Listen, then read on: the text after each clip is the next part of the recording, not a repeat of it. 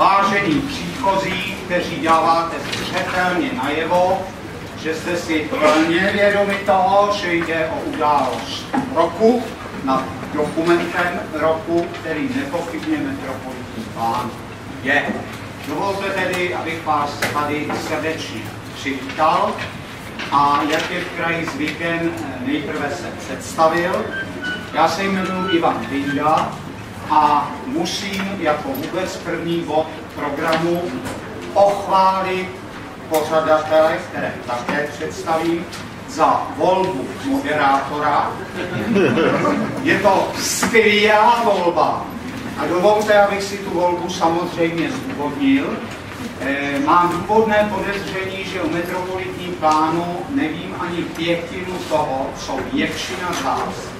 Takže jsem nezaujatý, nestraný a objektivní, což je samozřejmě skvělé a zároveň jako vedoucí katedry sociální a kulturní ekologie na fakultě humanitních studií o tom přece jenom trochu něco vím, takže doufám, že budu schopen debatu rozumně odmítovat.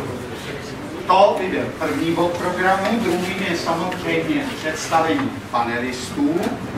Jsou jimi zprava doleva, z vašeho pohledu zleva doprava, pan profesor Karel Majer, architekt a urbanista, kolegyně Vendula. Publikum dalo najevo zdvořilost. To je dobrý signál pro další průběh debaty. Dále kolega Vendula Zádumenská, která jako kvalifikovaná právnická zastupuje právní okruh a zároveň nestátní neziskové organizace. Spolupořadatelem celé naší dnešní akce je pan inženýr Janoušek spolu s jako vždy skromným místopředsedou společnosti pro trvalé udržitelný život Pavlem Šremerem, biologem, který zůstává skromně skryt, ale spolu s kolegou Janouškem opravdu odvedli na té organizaci obrovskou práci. Osoba funkčně asi dnes nejdůležitější je paní magistra Petra Kolnická, náměstkyně současného zastupitelstva a radní samozřejmě současného zastupitelstva. Vítejte. Tady paní kolegyně si zatím nevšímejte, ale já ji představím taky.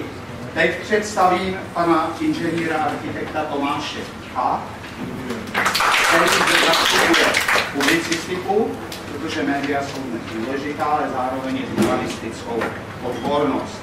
A konečně posledním z kolegů je inženýr Martin Čemuš, ředitel odboru územního rozvoje magistrátu.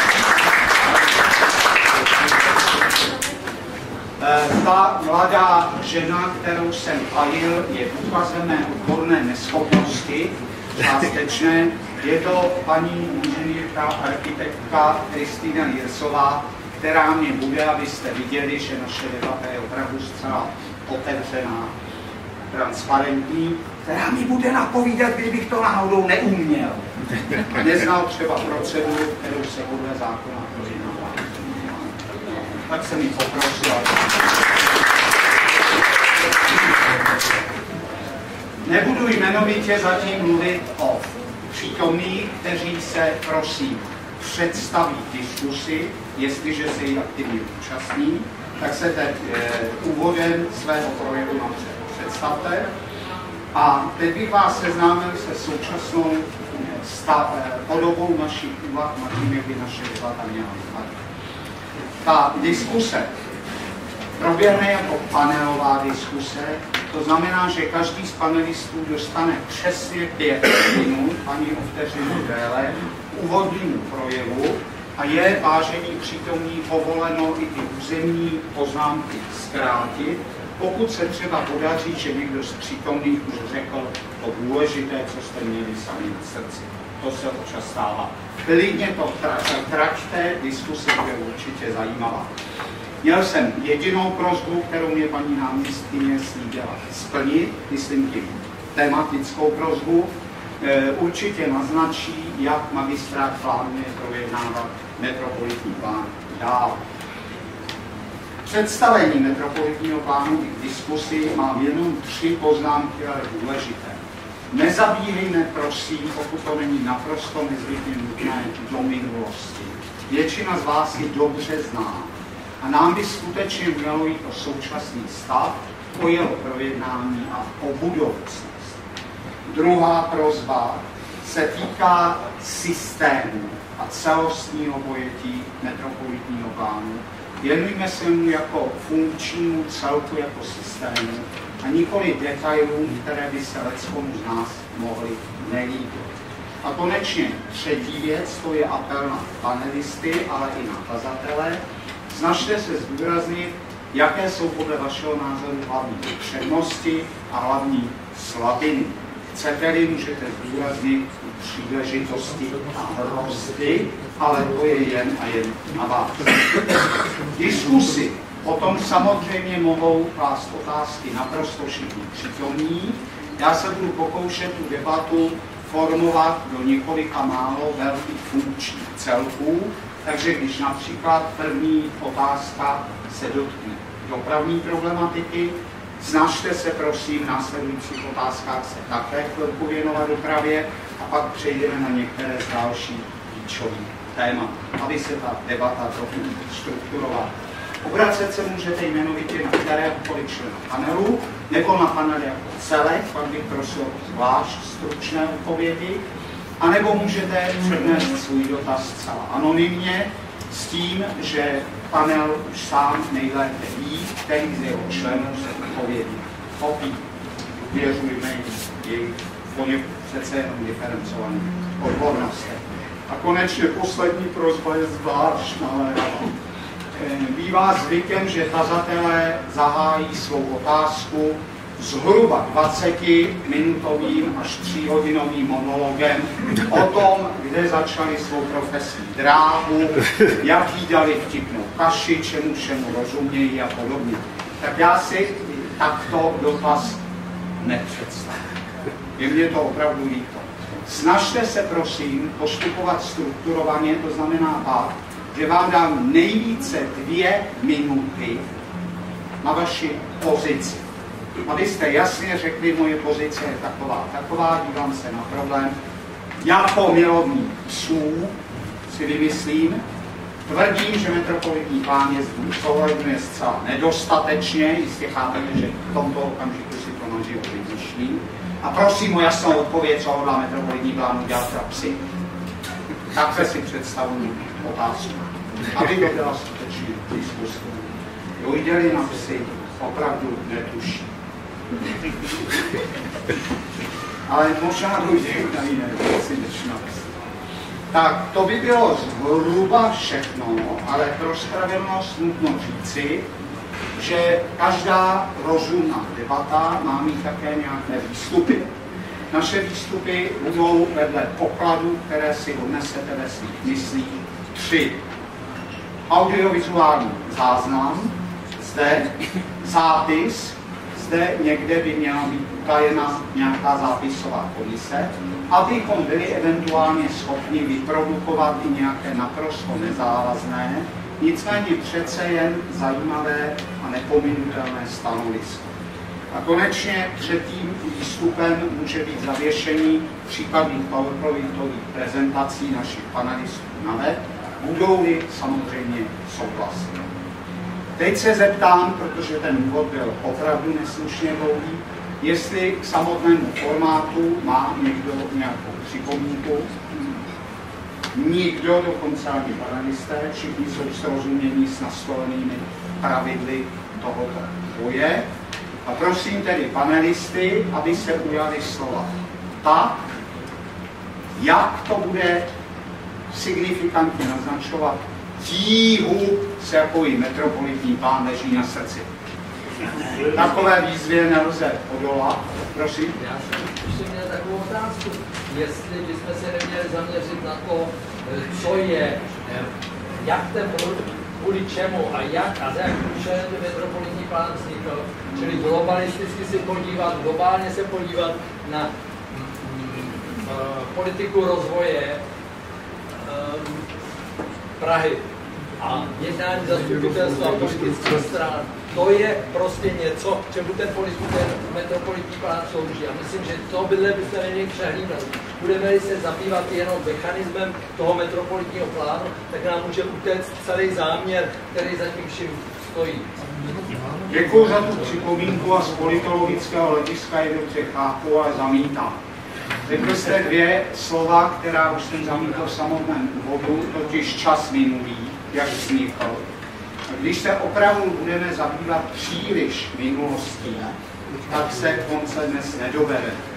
Ale cíle a záměry metropolitního plánu s tím bych rád souhlasil. Samozřejmě může každý z panelistů zdůraznit, jak už nás sám zahodný. Proč nebyly uznány cíle standardního územního plánu, které se připravuje v roku 2011? K němu proběhly diskuze, všechny, všechny připomínky byly téměř hotové a najednou máme metropolitní plán, který se jinak jmenuje, ale nejspíš má taky úplně jiné cíle. Pane kolego, děkuji za tu otázku. Kdyby padla zhruba o dvě hodiny později, byla by skvělá. V okamžiku, kdy panelisté ještě nedostali sebe menší šanci, musím ji označit za nemístnou. Nebo předčasnou. Odvažuje se ještě někdo nějakého Jiříku. Byl pozván někdo ze zpracovatelů? No, právě. To je docela dobrá poznámka a já jsem skutečně na něco zapomněl. Máte to na pozvánce, i proto jsem na to zapomněl. Zpracovatelé byli samozřejmě pozváni. Byl pozván inženýr Roman Vodný a především pan magistr Ondřej Boháč, ředitel, jak všichni dobře víte, institutu. Nevím, jaké je jeho poslední vyjádření, Pavle. Poslední vyjádření bylo zpátku eh, z IPRu, že hledají, kdo by sem přišel. A zatím teda to asi ještě ho nevyhledali, takže možná, že někdo přijde ještě v průběhu. Eh, co se týče Ministerstva pro místní rozvoj, tam je situace jako trošku složitá, protože oni jsou vlastně tím dozorovým orgánem, ale vzhledem k tomu, že měli od paní ministrně zákaz uh, účastnit se nějakých záležitostí kolem metropolitního plánu takovýchto, uh, tak uh, my jsme poslali zvlášť dopis paní ministrini, Paní ministrině to svěřila paní náměstkyni rozhodnutí a jak to rozhodnutí znělo, ale bohužel jsme se nedověděli, protože to bylo na poslední chvíli. Takže pokud tady není někdo za zástupce z MMR dneska, tak prostě asi platí dále ten zákaz. Děkuji za to odpověď, Pavle.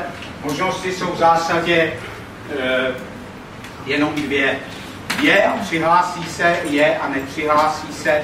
Třetí možnost při odpovědnosti MMR vyluču, protože by tady nikdo nebyl.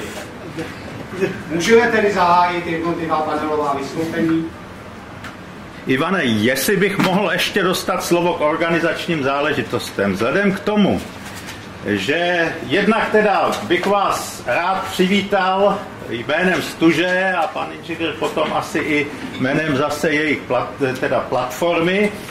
A jednak eh, bych řekl jenom tolik, že my jsme to cítili jako velmi důležitý. Eh, Stuž vždycky organizuje eh, k důležitým záležitostem takovéto sezení tady. Tentokrát je to pražská skupina Stuže, která se zabývá jako pražskými problémy a samozřejmě toto je velmi důležitá záležitost, tak proto jsme toto se uvolili jako organizovat a jsme rádi, že jste to přijali, ať už teda zástupci městských částí nebo zástupci nevládních organizací, a nebo čistě i jako třeba soukromníci nebo z odborního zájmu a podobně. Ale chtěl bych jako upozornit, vzhledem k tomu, že je to GDPR, tak prostě je potřeba se vás zeptat. Jo? Jednak my to nahráváme. Je nějaká proti tomu, e, někdo jako je proti tomu, aby byl nahráván? to, to je jedna věc, čili bereme to, že teda souhlas. Další věc z panelistů, pokud máte prezentace. Budete souhlasit s tím, abychom je na našem webu publikovali? Vidím tam zase souhlasné kývání hlavy, takže to je výborné. A potom máme třetí, nejošemetnější věc, momentálně, která stížila značně práci nevládním organizacím. Jak jste viděli, nedali jsme tady prezenční listinu ani, ale máme zde takovou jako poloprezenční listinu. Kdo z vás prostě bude chtít, tak se na to můžete samozřejmě mm, podepsat, eh, vyplnit nám ty kolonky. Kdo nebudete chtít, tak samozřejmě to není tím pádem povinné s tím, že my slibujeme, že toto je jenom pro účely prostě této přípravy metropolitního plánu a v okamžiku, když bude eh, přijat, tak to vymažeme. Jo? Takže máte k tomu eh, vždycky na tom listě bližší vysvětlení, já to tady nebudu celý číst, kdybyste si to dali, budeme vás informovat, ten, kdo se tam jako napíše i svoji e-mailovou adresu, tak jeho budeme informovat i o těch dalších záležitostech. Jinak, eh, co bude jako publikovatelný, tak to by mělo být na našem webu www.stus.cz, jo? takže to je asi tak důležitý. No a tady vám dám ještě další. Děkuji a protože tady máme dva pořadatele, poprosím o podobné slovo ještě pana inženýra Janouška za platformu pro revizi metropolitního Dámy a pánové, já vás také vítám. Eh, platforma eh, vznikla 11. dubna tohoto roku a v současné době združuje 13 občanských združení, včetně spolku spolků z Prahy 6 a spojuje nás to, že bychom rádi vyjádřili nějakým slušným přehledným způsobem formou memoranda eh, nejpodstatnější připomínky k metropolitnímu plánu, které jsme shromáždili. Já jenom tak eh, zkusmo natypuju zásadní změna koncepce od centrálního polycentrickému byla opět teďka navrácena zpět. Zásadní změna koncepce k městu dostřednému, to znamená princip dostřednosti, to je jedna velká, naprosto zásadní změna, která může mít poměrně významné dopady na mm, v podstatě mezinárodní situaci České republiky, pokud nedokážeme ukočírovat programy, ke kterým jsme se zavázali, ovzduší, hluk, eh, reakce na oteplování a tak dále. Už teďka má Česká republika proti sobě mezinárodní infringement, to znamená v podstatě výstrahu. Další princip, eh, v podstatě výškové limity a takzvané nové místa hladin věží. Já když vezmu jenom například Pankrác, tak uh, odborný názor uh, zpracovatele je takový, že odůvodnění je, že to je odborný názor. Nic víc. Já jenom vezmu technické potíže. 100-metrová budova na kopci Pankráce.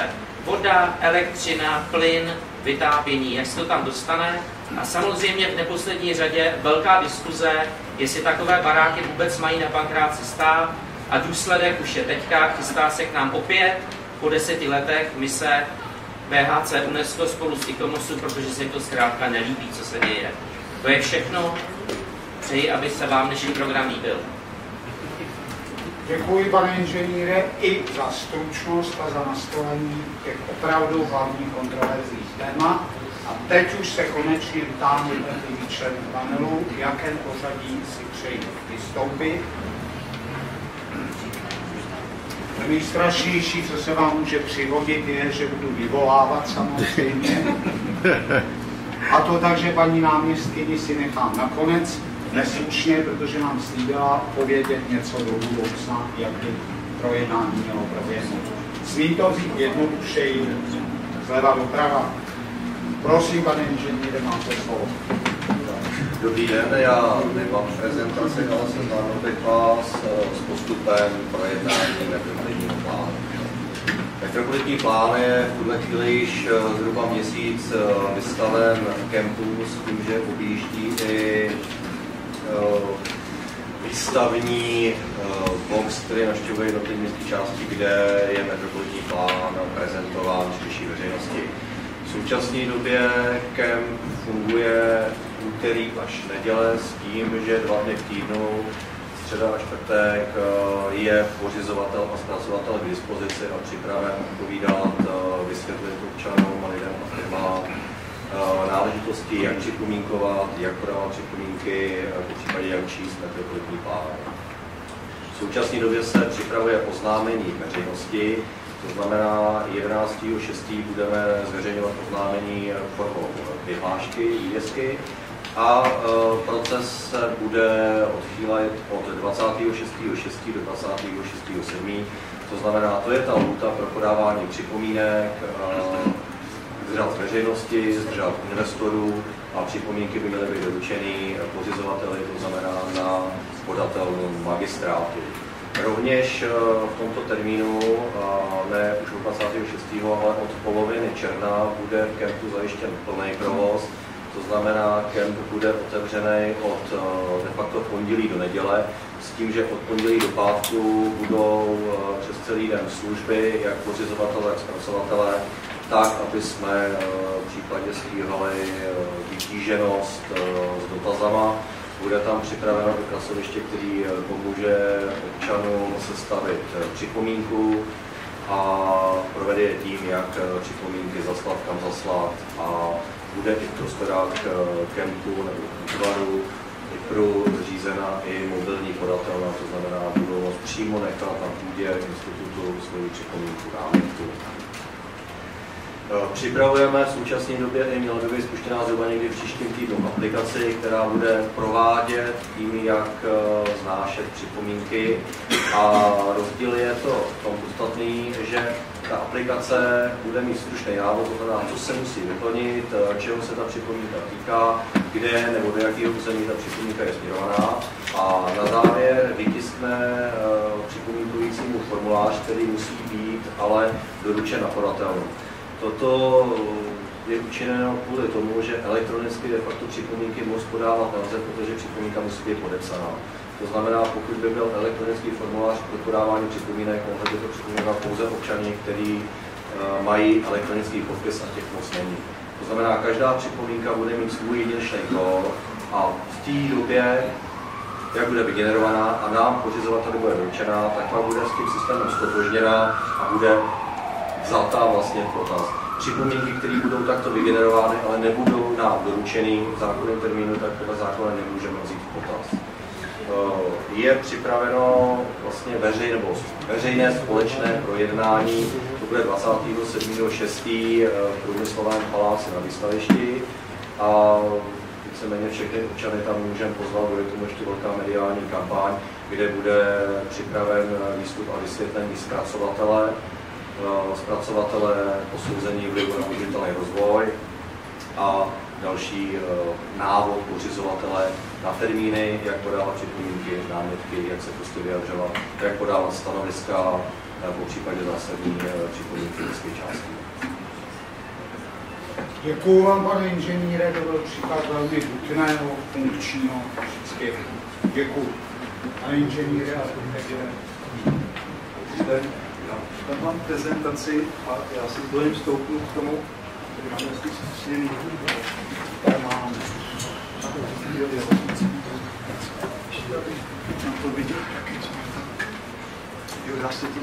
Pane architekte, blíže ten mikrofon.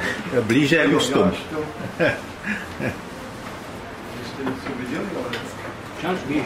Když tak je možný tam, prosím vás, zandat ty první ještě tam, kde se ty.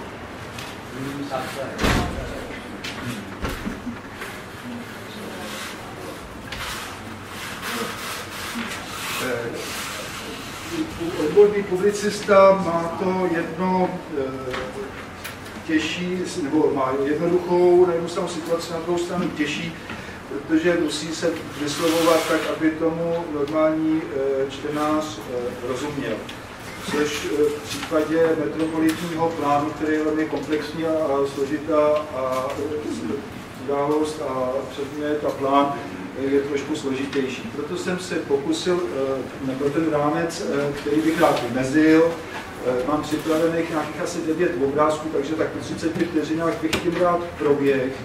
A jde opravdu jenom o čistě určitě řady těch obrázků budete znát, eh, asi kromě tohohle, z toho, který je zmí jako, eh, jako názorný pomůcka. Vidíte tam město Prahu uprostřed A když si kolem toho vytyčíme ty puntíky okolo, tak to jsou ty hlavní satelity okolo města je z toho zajímavé, čímž já si tak vymezuju, co to asi tak je ten metropolitní region, abych tomu sám rozuměl a věděl, o čem se bavíme. Je tam jenom jedna drobnost, že je zajímavé, že to město má prostě nějak víc na jich než na sever, nebo administrativně, ono ve skutečnosti tam ty obce na sever od Prahy jsou taky. Prosím další. Eh, tohle, co, protože jsme na debatě eh, společnosti pro trvalý život, tak je to ekologická mapka a to je mapka emisí NO2 v Praze. Ta, tam je zajímavý vidět, že, že vlastně se nám koncentrují ty hlavní emise, což je prostě v podstatě památková zóna, rezervace a směrem podél magistrály přes Pankrác na Chodov. Je to tmavý, nevím jestli oranžový, nebo jak to vidíte, prostě ten uh, flame oranžový. A pak máme ještě tam v Radotíně, tam je výjezd z tunelu a cementárna, nebo kamenová, nebo co to tam je. Cementárna. Emise nebo emise? I, i, emise NO2. A teď poprosím dál. A na to navazuje známý už obrázek od Leona Kvíra, notoricky známý, který právě naznačuje, co dělají ty satelitní předměstí, eh, když se koncentruje život do toho centra. To tak probíhá tady ta každodenní bombardování automobilů. Poprosím další. A tohle je taky Leon Krier obrázek ilustrační, který eh, mám moc rád, protože je naprosto jasný. Je to v podstatě nahoře vidíme americký, typ amerického města s nějakým downtownem a postupně, když dál doste dál do downtowna, tak jako máte ten spro pro eh, prostě sídelní kaši okolo. 50, eh, koncem 50. let s tím začal být uvědomělý problém a začal vzniknout v podstatě nový urbanismus, který se pak naformuloval pořádně v 80. a 90. letech a ten už to řeší ten nový urbanismus novým způsobem. To znamená, že buduje malá lokální centra, která by měly mít průměr 10 eh, minut chůze, to znamená necelý kilometr a ty by měla být sobě stačná. Čím se vlastně zbavíme takového toho každodenního bombardování těch downtownů. Poprosím další. A tohle to je to samé v trošku větším detailu, kde zase máme downtown, magistrálu okolo nebo okruh, okruh a e, satelity, které jsou jakoby za hranicí města, která je vymezená právě tím okruhem. A ve srovnání s tím je tradiční prostě evropské město, historické, jak ho známe. Poprosím dál. A teď e, to je taky Leon a tady je naznačený co se vlastně děje, když se koncentruje ten život do toho centra města, eh, tak tomu centru města to přináší ty libry a dolary a, a, a peníze, protože tam se opravdu koncentruje veškerá ta ekonomická energie e, toho regionu metropolitního, zatímco ty okolní eh, městečka, čtvrtě, satelity trošku zajou prázdnotou a nedostatkem naopak aktivit. Popros, pokročíme dál. A tohle to už je situace naše Prahy 1, protože já bydlím v Praze 1, tam je někde u Staroměstského náměstí kousek a nás čeká tady připomínkování metropolitního právu, plánu jako, jako všechny v Praze a tohle je, když jsem porovnal stávající stav s navrhovaným stavem, který řeší metropolitní plán, tak ty tmavý červený eh, fleky nebo obdelníčky, nebo eh, jak to chcete nazvat, tak to jsou v podstatě nově zastavitelná území, která byla doteďka zelená, nebo parkoviště, nebo železniční nádraží. A je tam, jsou tam věci, které mě eh, zvedají, přiznám se, ze židle a přijdou z hlediska těch principů, které jsem naznačil v těch prvních obrázkách, jako právě trošičku už přes míru, že se nám zahušťuje to centrum, akumuluje právě třeba na úkor eh, Petřína nebo Strakovy akademie nebo kampy nebo hřiště, tady máme v Masní, Haštal u Haštala, eh, které jsou uvažují k zastavování, ale přitom my s těma dětma pak budeme muset jezdit dole na letnou nebo prostě do jiné městské části, než na, na poslední, myslím, obrázek, to je to samé, kdyby ty území zůstaly zelený, tak mně se ten obrázek, je to to samé, jenom překlopený do zelený, změna barvičky najednou vám udělá, že takhle jako kolem magistrály by mohly vznikat pravá plíce, tomu říkám města v porovnání s Petřínem a Strahovem, a zároveň by se tady vytvořil i ten krajný rámec toho vnitřního města,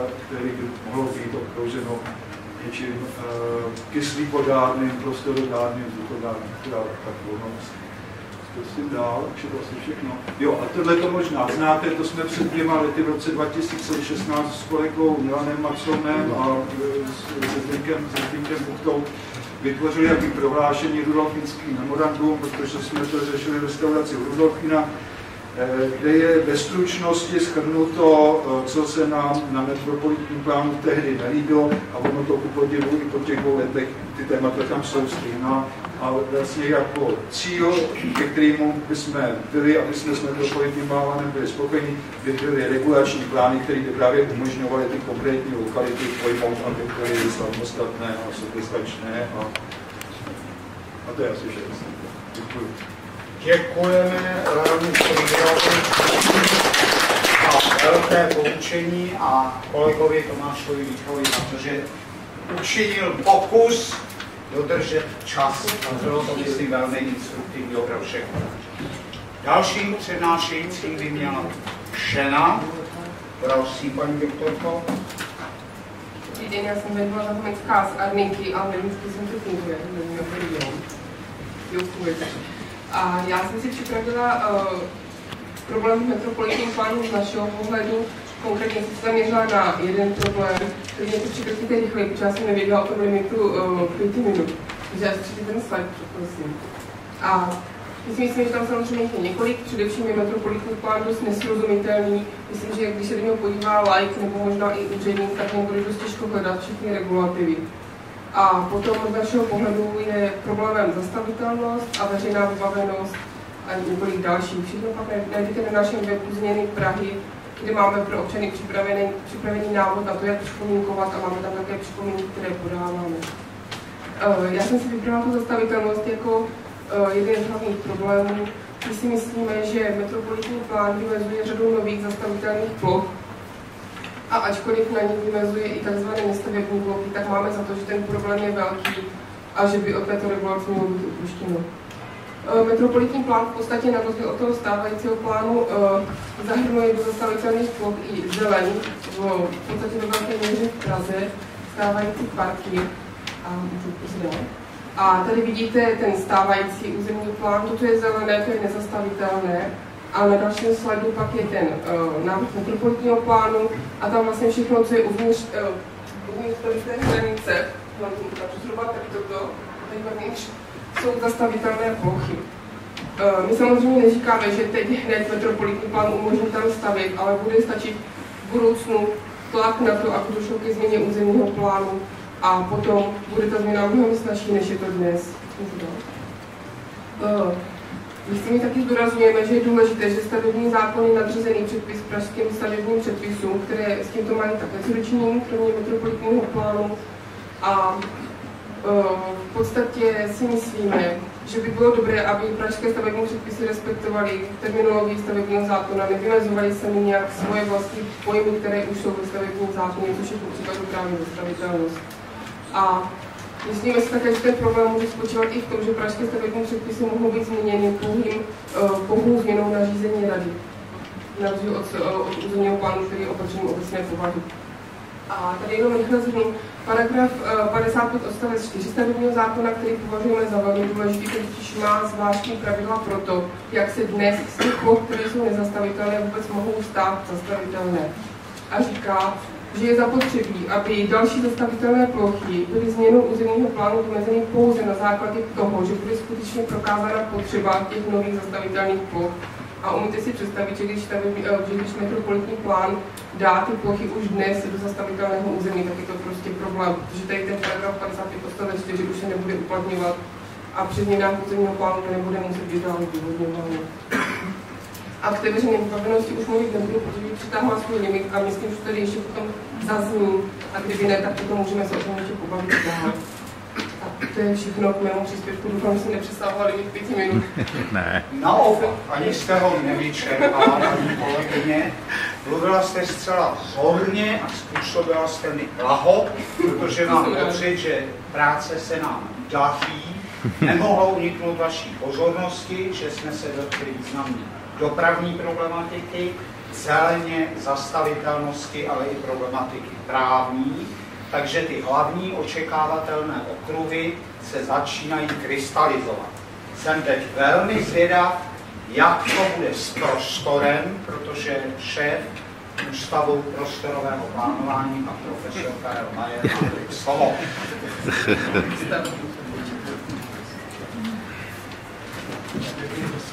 mám s tou trošku problém, protože jsem nepočkal s tím budu se snažit se do toho trafit. Takže tohle to je... Mikrofon, prosím. Mikrofon to nejde?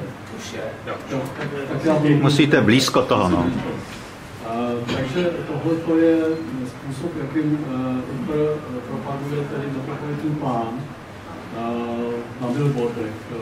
Asi na to mají nějaký fondy. Já bych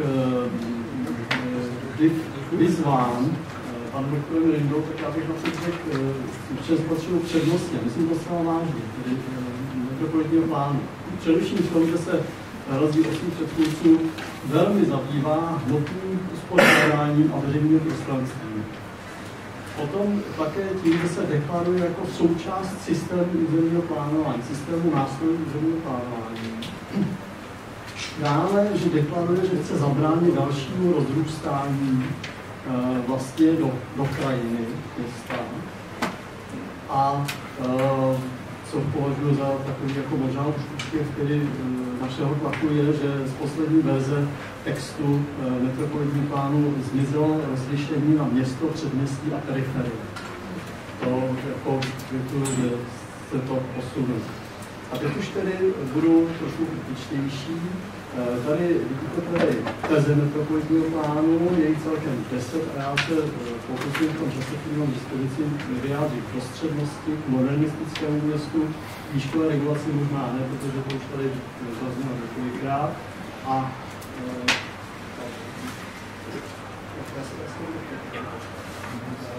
a metropolitní třída.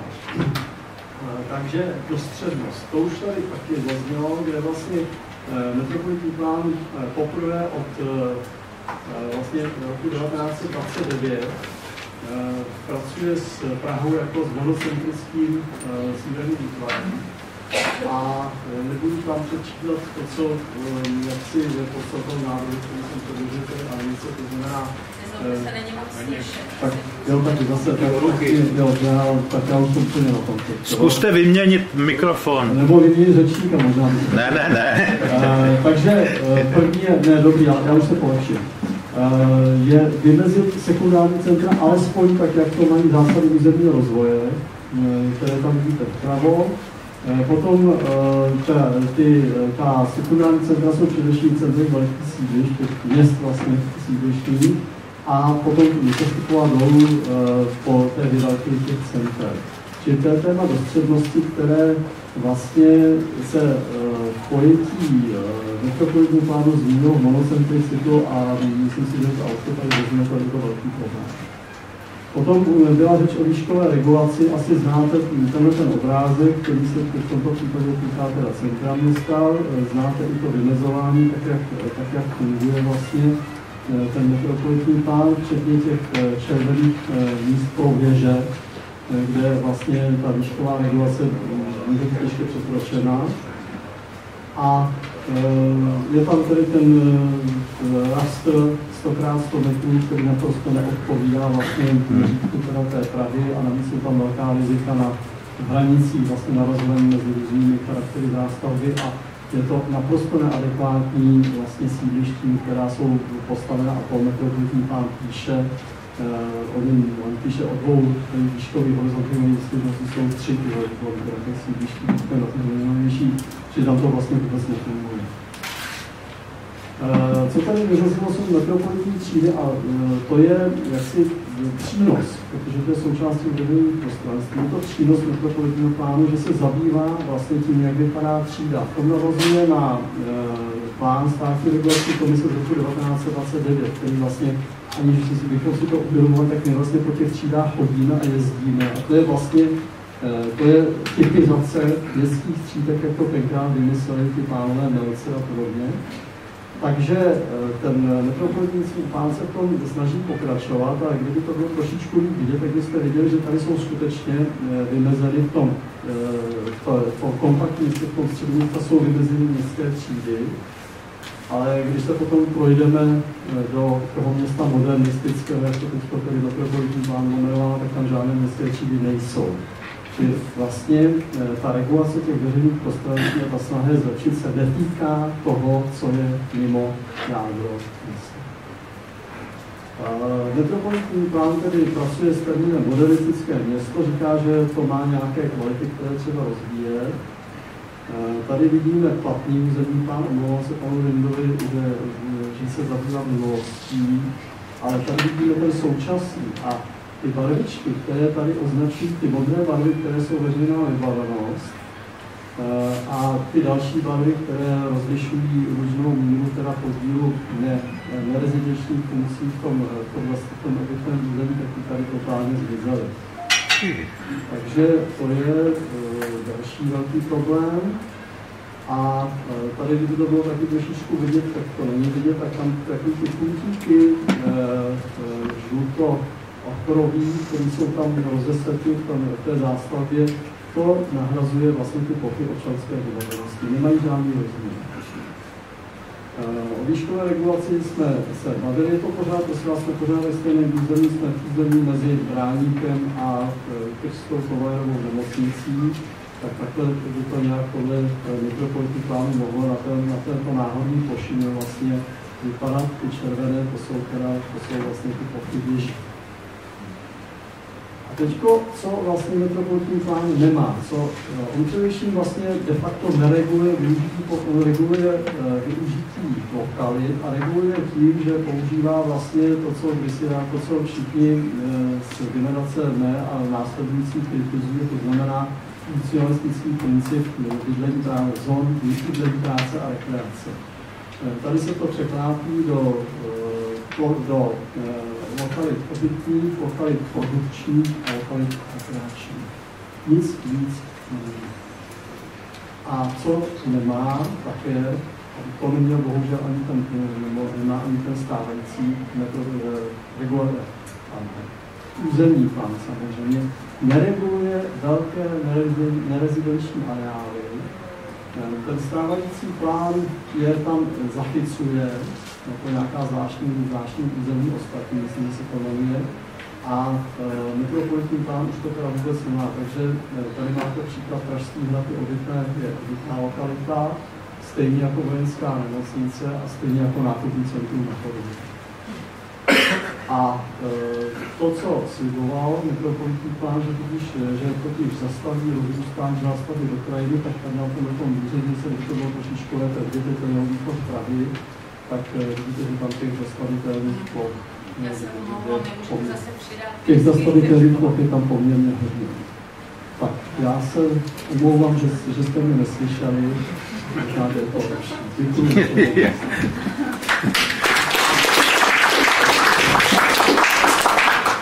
A naopak děkuji za velmi přehlednou prezentaci Budu sem chodit častěji, tady se našel člověk, který mě poslouchá, na rozdíl od mého domova, ne domácnosti.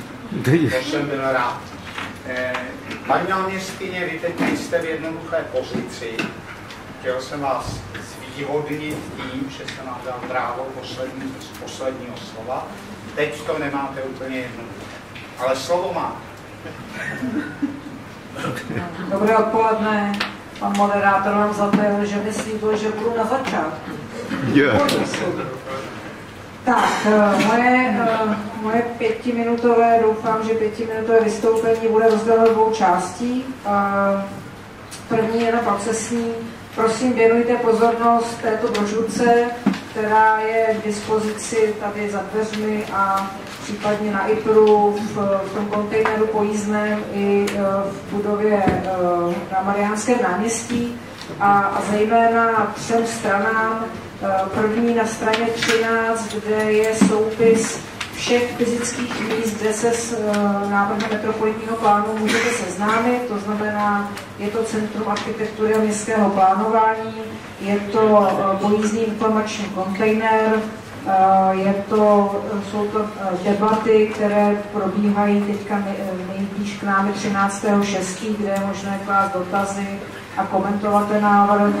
A je to samozřejmě společné jednání, které proběhne 27.6. Chtěla bych zdůraznit a poděkovat pořizovateli, zpracovateli za to, že eh, poskytovali maximální součinnost eh, v tom, že se zastupitelstvo rozhodlo historicky poprvé prodloužit zákonnou hůtu pro seznámení se s návrhem o dva měsíce, to znamená eh, veřejnost a všichni mají poprvé tři a půl měsíce na to, aby se s tím návrhem seznámili a komentovali. Druhá uh, důležitá stránka je na straně 23, tam jsou důležité webové adresy, uh, jejich vícero a je tam tedy jak uživatelsky, velmi přívětivě možnost sledovat obsah metropolitního plánu, tak jsou tam právě i třeba přehledy všech těch akcí. A poslední věc, která je důležitá, reaguju rovnou na otázku, kam se nám poděl koncept z roku 2000 tuším 10 se zadává, tak odpověď na to je na stránce 18, kdo je kdo při přípravě metropolitního plánu. Eh, chtěla bych jenom eh, zopakovat nebo připomenout, že ty role stanovuje přesně stavební zákon, eh, politici, kteří mají tendenci do všeho mluvit a všechno nekompetentně rozhodovat, tak mají poměrně striktně vymezený koridor, kdy se k plánu mohou vyjadřovat na začátku tedy rozhodují o tom, že se pořídí e, územní plán, to znamená v minulém volebním období v roce 2012 rozhodlo zastupitelstvo demokraticky o tom, že se koncept e, hodí do koše a začne se úplně znova. V roce 2013 schválilo zadání pro e, vlastně obsah metropolitního plánu a určitě je dobré při tom připomínkování se do toho zadání podívat, co si vlastně politici tehdy objednali a co z toho ten návrh jak zpracoval. Přičemž existuje judikatura, která říká, že se zpracovatel od návrhu o důvodněných případech může odchýlit. Pak je tu pořizovatel, já mu říkám přeloženo do češtiny státní dohled, to je úřad, který moderuje celý ten proces eh, dlouholetý a eh, který vlastně dohlíží na to, aby všichni se drželi svých rolí a eh, plnili nějaké zákonné lhuty. A pak je tu zpracovatel a to je tedy ten odborný tým architektů, urbanistů a dalších profesí, který návrh zpracovává a pak také vypořádává té připomínky. A tam také došlo v minulém volebním období k rozhodnutí, že nám eh, plán zpracuje Institut plánování a rozvoje a konkrétně tedy tým pana architekta eh, Kouckého. Tak eh, a teďka poprosím tedy k obsahové části. O metropolitním plánu už toho bylo hodně řečeno. Myslím, že je dobré říct, že kromě toho, že má spoustu, řekněme, nedostatků a a je oprávněným, oprávněným terčem kritiky, tak má nepochybně i řadu silných stránek. Bez nároku na úplnost e, jsem si dovolila je schrnout do e, těchto čtyř e, bodů. Myslím si, že oproti současnému územnímu plánu zcela jednoznačně dává mnohem lepší informaci lajkům, veřejnosti o tom, kde se nejspíš bude hodně stavět, a kde se bude stavět nejspíš e, méně. E, to myslím, že je určitě informace, která je pro e, to projednání a pro nějaké stotožnění se s tím výsledným návrhem poměrně podstatná informace. Pak to, co říkal už pan profesor Majer, je to lepší důraz nebo nový důraz na plánování kompozice města. Tak, teď minut uplynul. Co s tím, pane moderátor? Děkuji. Já budu rychlá. Uh, výšková regulace, která je problematická, obtížně uplatnitelná v praxi, ale to, že je na, to, že je na stole, to, že o tom můžeme vůbec debatovat a případně ten systém navržený nějak reformulovat, to považuji taky za velký klad. A pak myslím, že pomáhá lidem stotožnit se s místem, kde žijí, tím, že rozdělila Prahu na lokality a popisuje v tzv. krycích listech. Poprosím jenom poslední slide, všechny ostatní si když tak nechám do debaty nebo budou vyset na webu. To, co já považuji za problematické a doufám, že se to projeví v připomínkách městských částí, teď tedy ještě jedna formální odbočka. Nejdůležitější v tuto chvíli jsou připomínky, které pošlou uh, uh, zastupitelstva městských částí.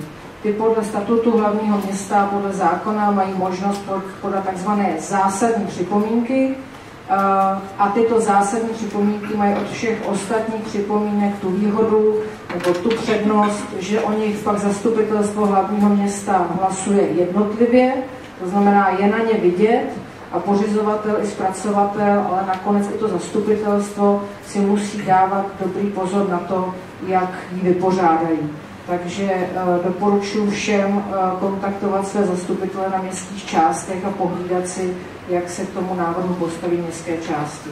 Prosím ještě zpátky, tohle z časových důvodů nebudeme ty detaily probírat úplně na, tady na ten slide. Tak, jenom uh, za mě uh, slabiny, které si myslím, že by se měly teď v tom společném jednání zejména na ně soustředit, je obecně předvídatelnost a vymahatelnost toho, co v plánu je, protože plán má říkat, co se v území smí, také co se nesmí. A v tom druhém, v tom, co se nesmí, eh, myslím, že ten plán eh, zatím úplně dobrou oporou pro rozhodování není. Pak je to zastavitelnost, tam se shoduji s tím, co říkala paní Záhumenská, občanská vybavenost, tam zpracovatelé dost ten návrh upravili ve prospěch eh, ochrany občanské vybavenosti, ale stále, stále ta věc není úplně podle mě tak, jak si vyžaduje 21. století a, eh, a moderní město, které je pod tlakem mnoha komerčních zájmů. Samostatnou kapitolou je transformační a rozvojová území, kde se má vlastně nejvíc stavět a zároveň téměř nevíme, eh, co, eh, v jakých funkcích, v jakých rozměrech. A eh, další kapitolou, která určitě si zaslouží pozornost, je doprava. Předpokládám, že v diskuzi se k tomu dostaneme meritorně. Děkuji za pozornost a za časovou toleranci.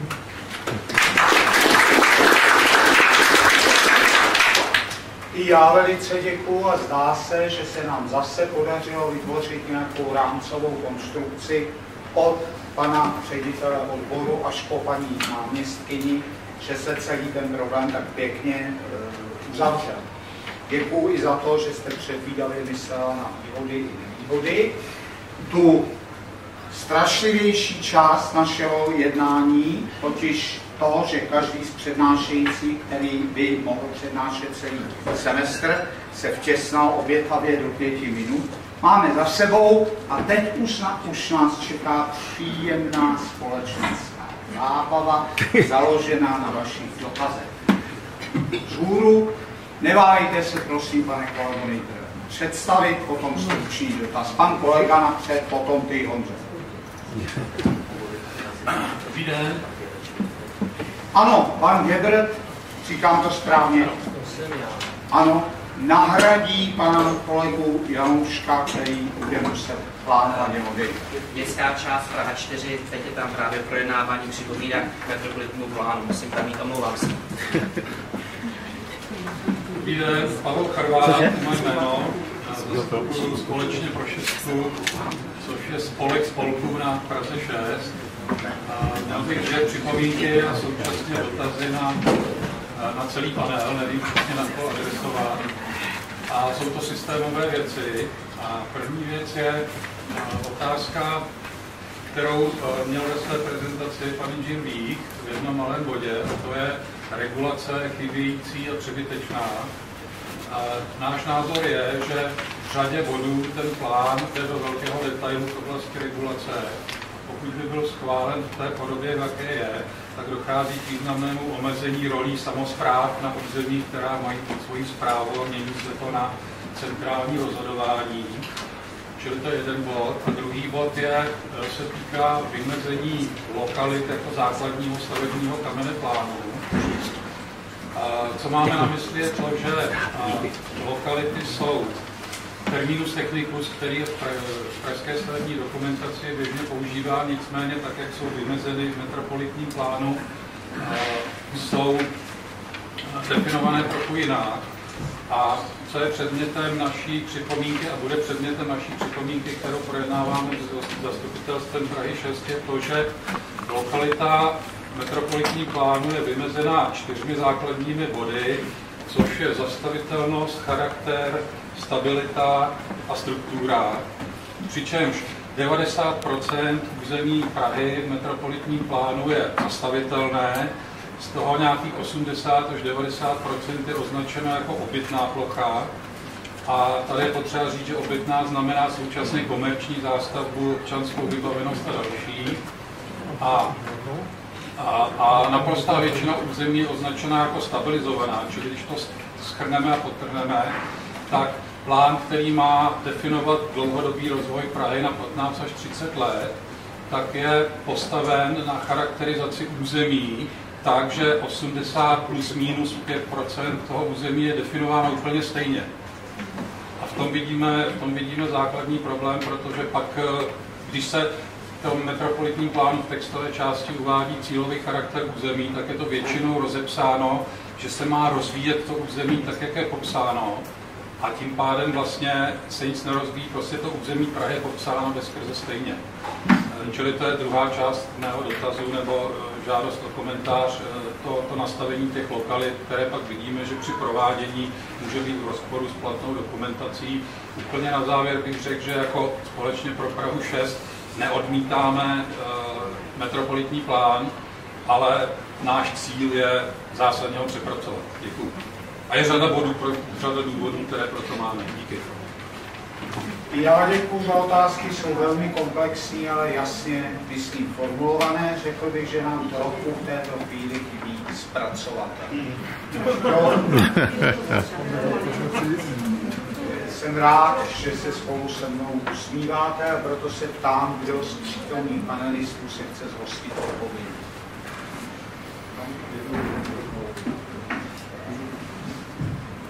Jednu drobnou, ale ono nám to od začátku vrtá hlavu, když zkoumáme ten metropolitní plán. On nově zavádí ten termín charakter území. A on, teď se nějak nově dostal do stavebního zákona, ale všichni charakter území eh, ten pojem charakter území e, typický pro regulační plány, kde, kde už jsou schopni ten charakter území opravdu e, dům od domu, blok od bloku, ulici od ulice, už je tam rozeznatelný prostě takový ty věci v měřítku řádově třeba desítek metrů, který v územním plánu vidět nejsou. Proto e, mně přijde chybou a, a jako zásadní, ale v podstatě metodickou, nevím přesně, jak to připomínkovat, že vůbec metropolitní plán operuje s termínem charakter a nevystačí si s termínem struktura, protože e, přesně to, jestli je někde boková struktura, rodinný domky, e, prostě rostlé, rostlé město, tak tenhle ten pojem e, struktura určitě jde tam na místě ale já třeba nejsem schopen rozeznat popisu metropolitního plánu jakýkoliv rozdíl mezi charakterem Karlína, Žižkova, Vinohrad. Podle mě to jsou, jak bylo i řečeno, v podstatě ty samé věci, že jak to vypadá, že Praha má ten charakter země prakticky všude úplně stejný, což mi přijde vlastně matoucí. Děkuji. Prosím, máte slovo. Eh, dovolte mi eh, poděkovat panu Charvátovi za to, že se zmínil o tom posunu kompetencí z městských částí na magistrát. Já jsem byl ve čtvrtek na konferenci SAR, kterou pořádala Združení eh, pro architekturu a rozvoj, tak to hm, Central Group a paní starostka. A paní starostka tam, teda paní Primátorka. Knát, primátorka Knáčová tam vystoupila a řekla velmi jasně, co chce, až odejde ze své funkce a bude chtít, z jaké pozice, eh, to nevím, aby se centralizovalo rozhodování na magistrát z městských částí, aby se změnil metropoli, aby se změnil stavební zákon, vyhlášky, aby se vyházeli z ministerstva lidi, kteří nejsou dostatečně kooperativní a za třetí, že demokracie zřejmě není systém, který by mohl v městě fungovat. Tak abyste věděli, čemu se vlastně, při, co se chystá a co je vlastně už součástí toho metropolitního plánu, protože ten metropolitní plán je součástí nějaké strategie a ta strategie je strategie privatismu a volného rozhodování.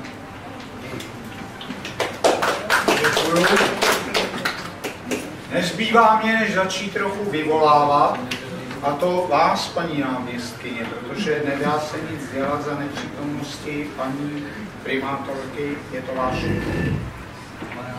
Tak my máme tradičně s paní primátorkou na uh, důležité otázky rozvoje města trochu uh, odlišné názory, trochu více, než by se asi dalo u jedných členů jedné rady předpokládat, ale předpokládám, že do se to nezmění. Tak uh, uvidíme, jak budou rozdány karty v Římě. Ale k tomu dotazu. Uh, myslím, že i zpracovatel, ne, rozhodně tu nejsem, abych, abych za něj mluvila, ale uh, myslím, že zpracovatel počítá s tím, že karty lokalit budou právě ve společném jednání ty, co to bude ta vrstva plánu, která bude nejvíc, nejvíc dopracována. Protože ta znalost, kterou máte jako místní obyvatele, je prostě nenahraditelná. Takže uh, i myslím, že zpracovatel je už jako mentálně nastaven na to, že krycí listy, to, to co v tom textu, bude, bude hodně doplněno, uh, že se i posílí závaznost toho, co v tom krycím listu je napsáno uh, a tudíž, že se po, podaří ten, řekněme, jakoby monolit těch 85% zastavitelnosti, stability a bytové funkce pobytové, takže se, že se v těch věcích eh, listech eh, bude individualizovat. A co se týče detailů, které nepatří do úrovně územního plánu, tak na to je právě pořizovatel, který musí tuhletu eh, důležitou věc pohlídat, tak aby prostě územní plán některé detaily, které řešit nemá, také neřešil a uh, věřím, že tuhle tu úlohu si její vědoma, že ji zvládne. Tak nevím, jestli to nějak okomentovat, ale uh, možná to ještě nezaznělo, že kromě veřejnosti a městských částí a vlastníků pozemků se k uh, územnímu plánu tomu návrhu vyjadřují dotčené orgány státní zprávy, to znamená památkáři, hygiena, odbor ochrany zeleně, tyhle všechny vlastně složky, eh, taky ten plán eh, komentují ty jejich stanoviska mají jako hodně velkou váhu v tom, v tom dalším zpracování. Hmm. Děkuji za odpověď. Nevím, jestli byla pro vás vyčerpávající, ale všimněte si, že samozřejmě rozebíráme, tak jak to kolega Charvát naformuloval, dva problémy, byť těsně související, Zjednodušil bych to na měřítko a e, demokracii, vliv e, jednotlivých městských částí versus centralismus, což s tím měřítkem velmi souvisí. Ještě e, buď chvíli trpělivý, prosím tě, Honzo.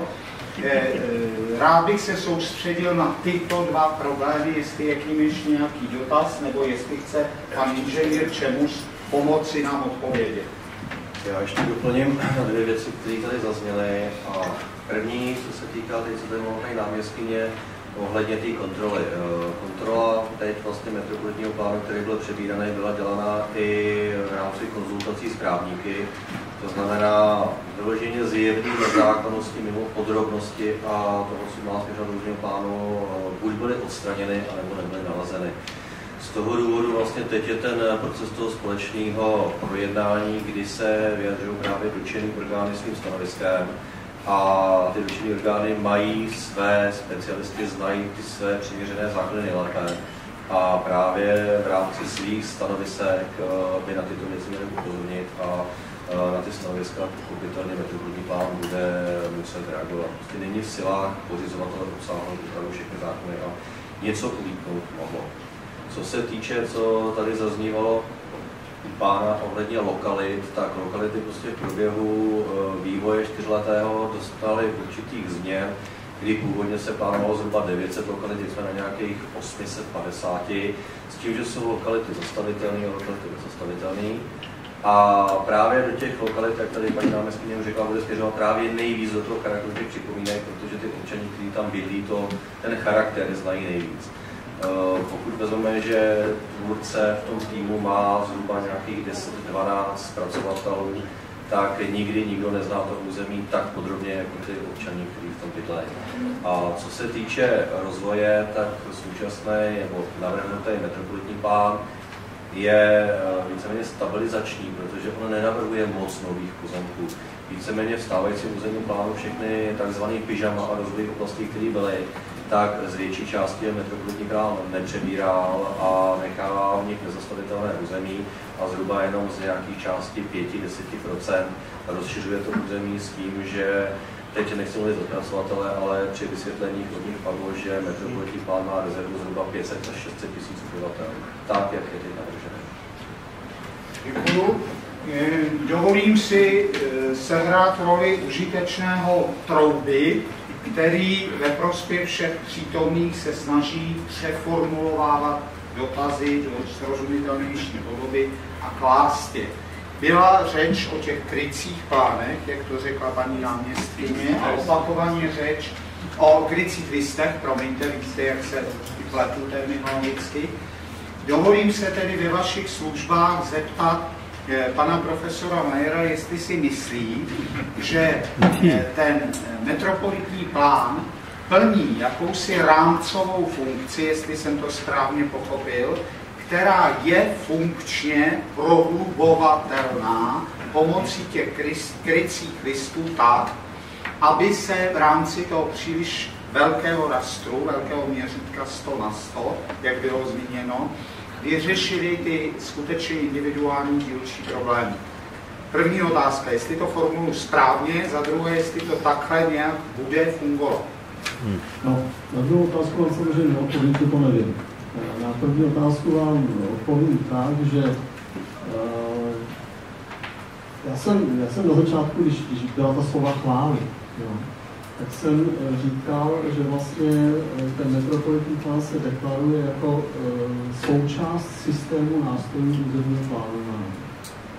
A on se mu deklaruje, protože on nepočítá s tím, Eh, až na výjimky, že by vlastně eh, byl spodrobňován nějakými dalšími nástroji. On tam uvádí teda pro některá území, uvádí územní plány jako částí města, což je, eh, nechci zabíjet do podrobností, je trošku problematické, ale on vlastně nepočítá s regulačními plány a územními studii, což jsou ty další nástroje územního plánování.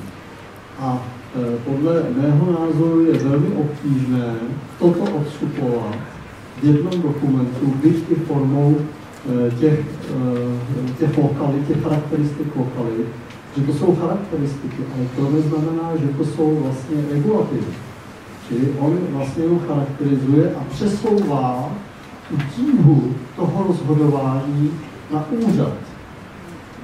A pokud eh, pan doktor Jinda tady otevřel otázku demokracie, tak toto je eh, velmi problematické právě z hlediska demokratického procesu, protože zatímco o metropolitním plánu a o nějakých dalších regulačních a jakých plánech tady můžeme vést diskuze a potom ti občané znášejí připomínky. A každý občan může vlastně mít připomínku. A ta se musí nám vyřídit, tak v případě jednání úřadu, který vlastně se jaksi rozhoduje o tom, co je možné a co není možné v, té, v tom prostoru, který mu dává v tomto případě metropolitní plán, tak to je jednání, které tam vlastně už ta veřejnost nemá žádný přístup a to se odehrává z zavřených dveří. Hmm. Nevím, jak vám, zkuste to dopřesnit, případně mě to pomohlo, protože je jasné, že úředník z povahy věci nemůže občana omezit nad rámec zákona. To může jenom volený zastupitel nebo poslanec. V tomhle smyslu se mi tedy zdá, že ten systém není úplně funkční. Aby se ke slovu konečně po čase dostal inženýr Zeman, tak poslední dvě otázky k tomuto tématu. Vy, pane kolego, a potom ještě jednou kolega Charvat. Vy? Takže já, ano, ano. Já jenom se podívám. Já jsem, já jsem velice rád, že jsme... Představte se, prosím, inženýr Jan Majer. Inženýr Jan Majer, občanské združení Belušova ulice. E, žádná funkce, prostě občan. E, že jsme se dostali k otázce jako, e, zastoupení občana, nebo to, co v úloze občana v tom územním plánu.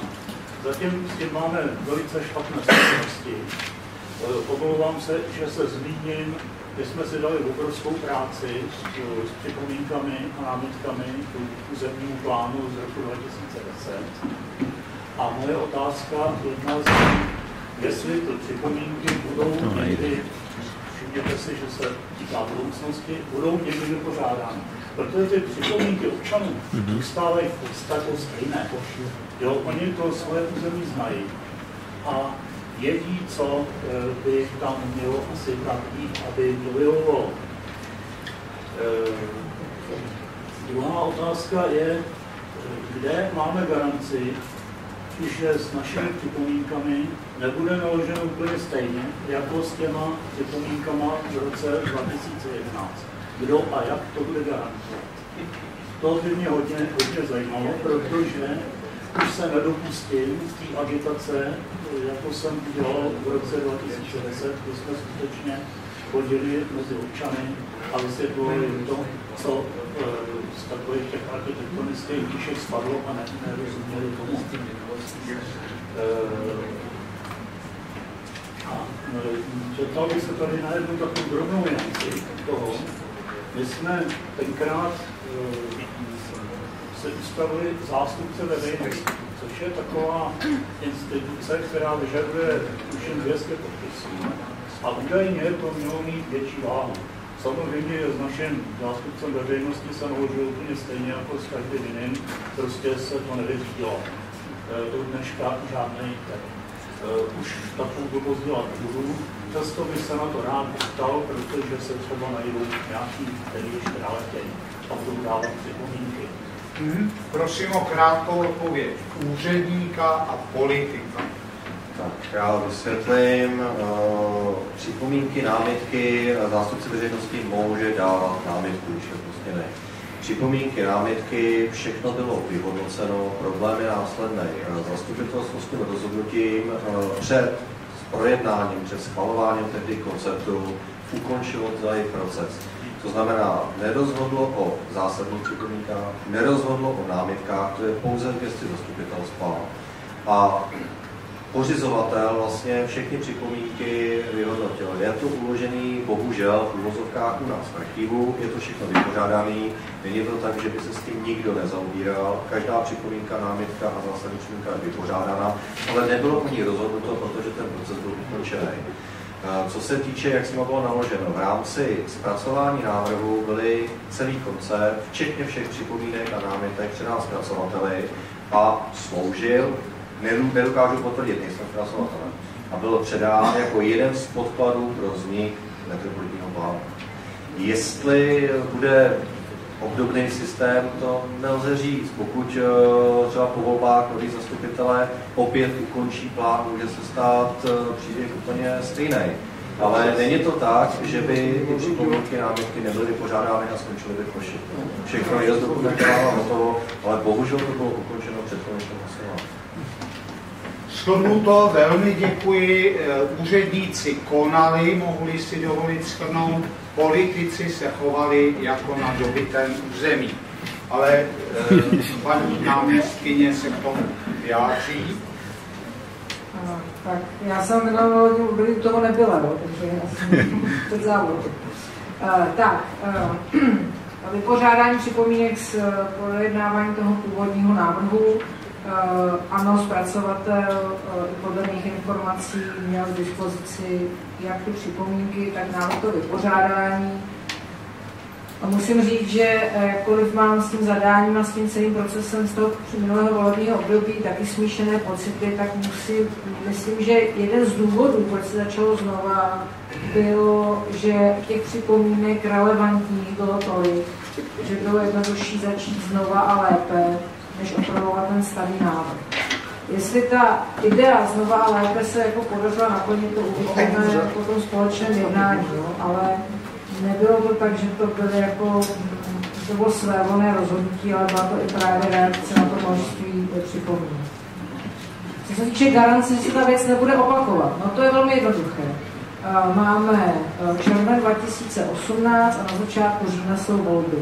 Zeptejte se každého, kdo se bude ucházet o váš hlas, jaké má plány s metropolitním plánem, jestli ho chce hodit zase pod stůl, nebo jestli ho chce dopracovat, nebo je to úplně ideální čas vlastně to, to řešit s kandidáty do příštích voleb. Zástupce veřejnosti přijde ke slovu v takzvaném veřejném jednání, o veřejném projednání, které bude podle toho harmonogramu až někdy za plus minus dva roky. To znamená, teď není potřeba sbírat podpisy, teď nelze uplatnit ten institut zástupce veřejnosti. To je až v tom druhém kole projednávání. A vlastně ta námitka má zase laicky řečeno stejnou sílu, jako kdybyste byli vlastníky pozemků a její vypořádání je soudně přeskoumatelné. A zároveň myslím, že těch 200 podpisů v krajských podmínkách není uh, nic jako, asi to neseberte za večer, ale zase to není práce na půl roku. Tak myslím, že ten, ten počet podpisů byl zákonodárcem stanoven poměrně rozumně. To, nakolik je to práce zbytečná? Já myslím, že ne. Já myslím, že už jsme si tou katarzí uh, zrušení skoro hotového plánu a začátek nový prošli všichni natolik, že eh, to riziko, že by se to opakovalo, vidím jako velmi malé. Poslední k tomuto tématu, aspoň doufám, kolega Charvát. Já tentokrát už nežádám odpověď, jenom bych zareagoval na to, co říkal pan Majer, protože skvěle doplnil to, co já jsem měl na mysli těmi našimi obavami. A co se týká eh, regulace a vlivu městských částí, protože ten plán v sobě zahrnuje plošnou, plošné prvky regulace. A problém je v tom, že většina území je označena jako stabilizovaná stabilizované území logicky regulaci nepotřebuje. Naopak je tam spousta transformačních a rozvojových ploch, které potřebují lokální regulační plány a individuální plány, které v tom plánu skutečně nejsou. A to je to obrovské riziko, kde, a, protože jakákoliv ty, ty plochy jsou některé velké, ale v zásadě jsou to vždycky části lokalit a mají zásadní vliv na svoje vlastní okolí, na vedlejší plochy, na vedlejší lokality. A pokud tohle není za to ohled, tak s tím je obrovský problém a tu znalost toho místního prostředí mají právě ti místní. Takže lokální regulační plán je jeden z nástrojů, který eh, mi tam jednoznačně chybí, nebo nám.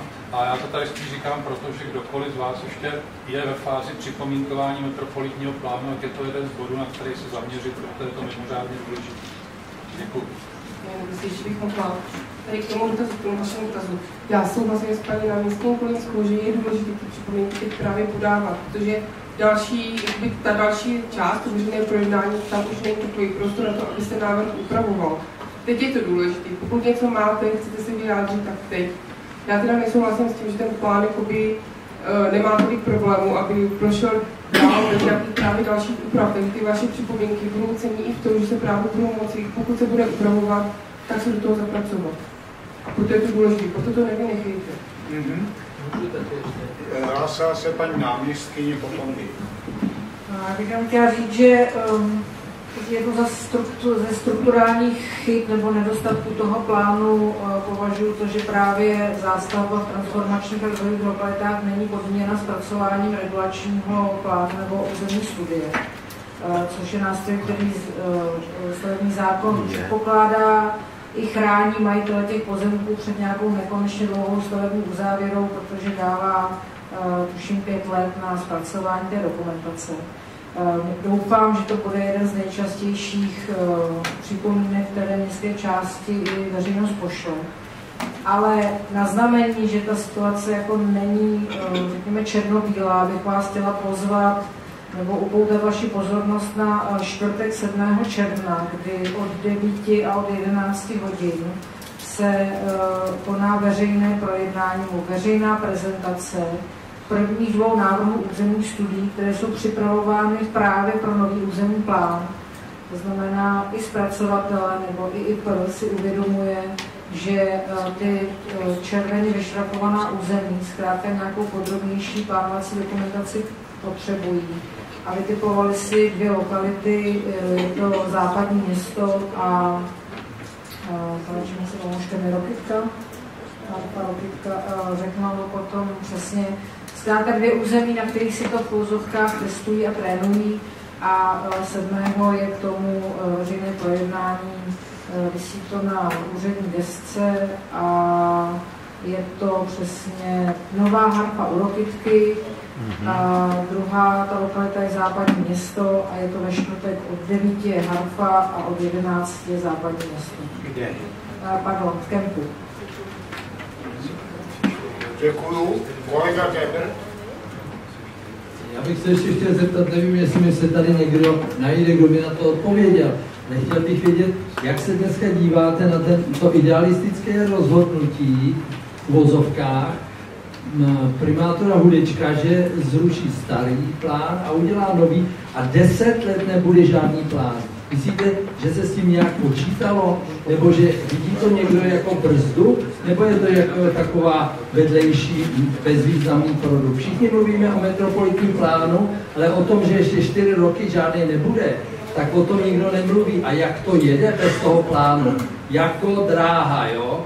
Tady ty projekty jsou, implementuje do územního plánu projekty developerů a nevím, jestli tohle to bylo cílem toho celého jednání, no toho rozhodnutí dělat územní plán a nechat tady 10 let všechno, aby to běželo bez kontroly. Děkuju. Najdete si někdo, kdo k tomu něco ví? Byl někdo v té době v nějaké rozhodovací pozici na magistrátu nebo někde v politice? Já jsem si tady tomu příspěvku teďka vůbec nerozumím, protože máme platný územní plán, schválený zastupitelstvem v roce 99. Ten plán prochází řadou změn, některé jsou dobré, některé jsou špatné, ale rozhodně nejsme v žádném právním předpisovém váku. Máme tu zásadu územního rozvoje, máme územní plán, a to, že je morálně, řekněme, zastaralý, nebo prostě, že se asi ne, úplně rozumí dá rozhodovat podle plánu, který je skoro 30 let starý, no tak na tom se shodneme, ale kdybychom byli bez plánu, tak to, to vylučuju. Děkuji za odpověď a teď, pokud můžeme, promiňte, inženýr Jan Zeman se hlásí dlouho a trpělivě. Je to jako ještě k tomuto tématu? Nebo a to jsou dvě témata, měřítko a demokracie. Tak, jak jsem se pokusil to olejbovat další? To říkal na začátku. jaká vyplynou z diskuse, možná tak ještě poslední chvilinka trpělivost. Trpělivost, slovo. Jiří, jenom bych drobně zareagoval, nebo se to k tématu, eh, na to nadšení pro připomínkování krycích listů v těch lokalitách. Eh, příklad. Eh, existuje regulativ, že v parku je volné zástavbě modernistická struktura, lidové řečeno sídliště, může bez změny územního plánu každá budova zvětšit svou plochu až o 20% A já se ptám, máme z desítek pražských sídlišť všichni napsat, že nechceme zahušťovat, nebo máme dát připomínku, že chceme změnit tento regulativ? Děkuju, to je velmi konkrétní, ale zobecnitelná otázka.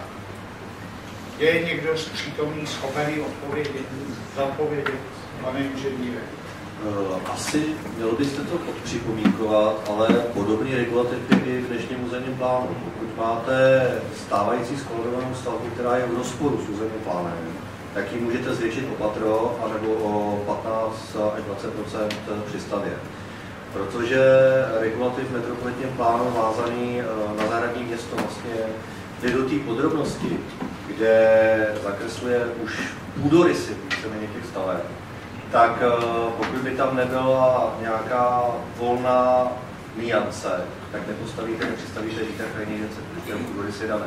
Z tohohle důvodu zpracovatel umožnil uh, rozšíření staveb stávajících Víc by vám řekl potom zpracovatel, ale díky tomu, že v těchto parkách, v úvozovkách volně zástavy jdete až do půdorysu stavby, tak je tato nutná.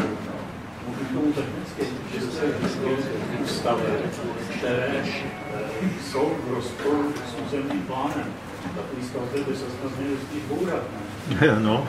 to, to dobře nejde, pokud máte starý objekt, který je skolaudovaný a funkční a územní plán tam navrhne uh, les nebo navrhne tam třeba průtně pole, protože neumí vymezit eh, jednu stavbu z hlediska měřítka 10 tisíců, tak byste boural třeba, já nevím, stovky staveb v Praze. Takže ta formulace je správně, nepatří tam, které nejsou v rozporu s já jsem jenom eh, říkal, že současná eh, možnost rozšiřovat stávající řádnou zástavu, která je řádně povolená, tak je i obsahem současného územního plánu. A třeba se mi nelíbí. To je možný, ale... ale otázka byla na ten postup jestli po, po lokalitách, anebo na, na obecní regulativ. Obecný regulativ je vázaný úplně na všechno. To znamená, lokality mají definovaný svůj charakter a vztahujete ho vždycky tu připomínku k té dané konkrétní lokalitě. Když to tato výjimka jde napříč celým plánem, to znamená, měla by připomínka zaznívat k celkový koncepci vlastně. Já myslím, že vaši snahu, pane kolego, ještě k tomu právnímu aspektu. Jenom dáme to určitě jakoby k té koncepci a dáme to k tomu konkrétnímu parku, k té volné zástavě, tam vám vůbec nic nebrání podle těch připomínek, kolik chcete v podstatě, ale tak ať dávat nějaký smysl a jsou odůvodněný, ať právě se s tím může pořizovat pořádat. To nejsou nějaké neodůvodněné připomínky. Jinak já teda uh, si přiznám, že si nejsem hlavně jistá uh, s tím stávajícím plánem a s tím regulativem uh, výstavby staveb, které by nejsou v souladu s tím plánem, na to se musím podívat. Ale i to připomínku, pokud s tím nesouhlasíte. Mm. A konečně Jan Zeman.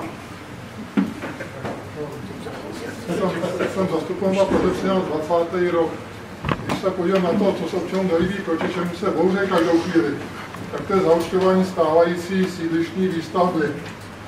Čekal bych, že základním předpokladem nového zemního plánu bude zákaz nové výstavby a zaučtování sídliští posledních na nových čtvrtích.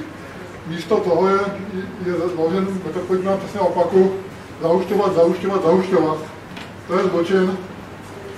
Budeček se tím konečně netajil, když ho budu volně parafrázovat, když likoval ten koncept územního plánu, tak přece aby si mohli dělat, dělat, co chtěli, nemuseli uplácet politiky a podobný keci s pamětím. A proto jsme metodicky dobře, celku dobře budovaný koncept územního plánu a přijatelné paskvil. Současný územní plán má 24 barev, takzvaných. Metropolitní plán má pouze 4 barvy. S tím pádem umožňuje myšmaš, je téměř cokoliv dokoliv, v těch třech, čtyřech kategoriích, tam jenom ten nezatatelný, druhým jak voličem obytným, tam patří sociální infrastruktura, třetí výrobní, kam patří celé dopravní stavby, takže klidně jsem měl postavit barák a společím do cesty silnici a obráceně. A pak je tam to rekreační. Pod tím můžeme se taky představovat ještě lecos, jo. Protože to musí být les, park a podobně, ale na rekreaci je mnoho znáte, jak vypadá rekreace. Třetí věc je ta, že ve suší společnosti je veřejná země ve městě nedotknutelná metropolitán počítá její redukcí, a to především ve vnitřním městě, kde je zdaleka největší dostatek. Průměr obně začínáme lesy v okrajových částech samozřejmě rubě zavádí, co jestli jako s tím bude ten, který měli dva průměry a něco celé jeden. Čtvrtá věc. Já si myslím, že třikrát a dost stačí. Protože jsou i další autoři dotazů, kteří by byli schopni formulovat a generovat celé přehršle. Jestli jsem tomu dobře rozuměl, tak jedno z témat, to první, bylo šťastné, protože se zahušťování vlastně navázalo na dotaz Jiřího Buta, takže můžeme pokračovat. Druhým dotazem byla nepochybně zeleň. To je téma, které bych pro tuhle chvíli trochu odsunul a udělal bych z něho větší tematický celek o chvíli později. zahušťování.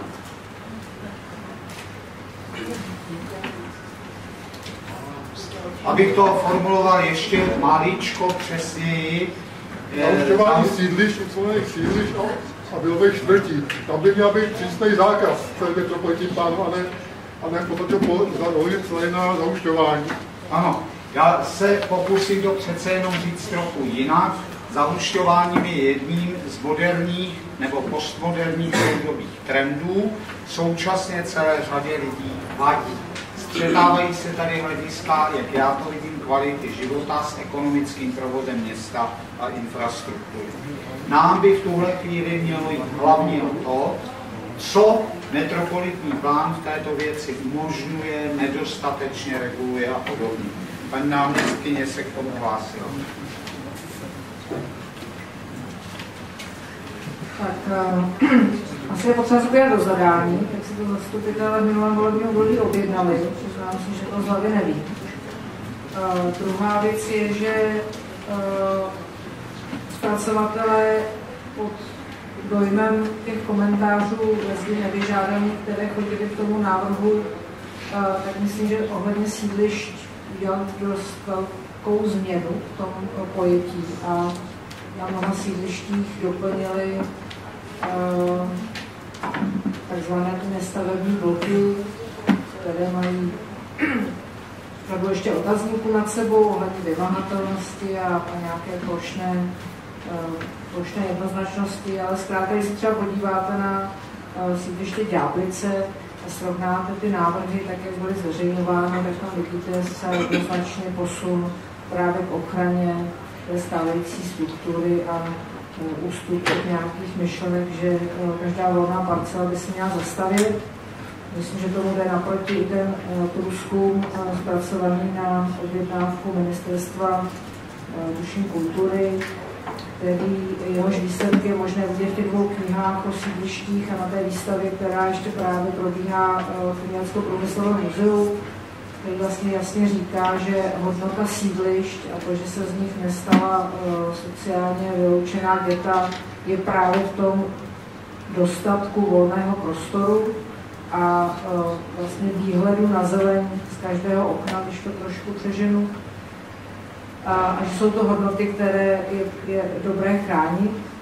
A Zároveň jsou určitě v Praze místa, kde uh, zkrátka ta zástavba má, má být hustší, protože její obhospodařování, ať už MHD nebo, uh, nebo jakoukoliv další technickou infrastrukturou, uh, v tuto chvíli je, je ekonomicky nedává smysl a nějaká dostavba tam, tam žádnou kvalitu života tím, co tam lidí automaticky nesnižuje. Eh, takže bych to nebrala plošně, žádné zahušťování nesmí být, protože eh, pokud nechceme rozšiřovat město do krajiny a nechceme vyhlásit nějakým zákonem zákaz stěhování lidí do Prahy, tak eh, nějaké prostě prostorové řešení to jako musí mít a, a ve se mu říká zahušťování. A u těch sídliš bych prostě šla lokalitu po lokalitě, Umím si představit, že na okraji některých sídlišť je ta dostavba nic proti ničemu a někde je zcela nepřijatelná a zastupitelstvo už v případě sídliště Ďáblice a v lokalitě Kamík tomu, řekněme, neřízenému, té neřízené výstavbě dalo stopku svými usneseními. Takže určitě je to jako vrstva, kterou je potřeba připomínkovat, ale jako nemyslím si, že připomínka žádné zahušťování je připomínka rozumná.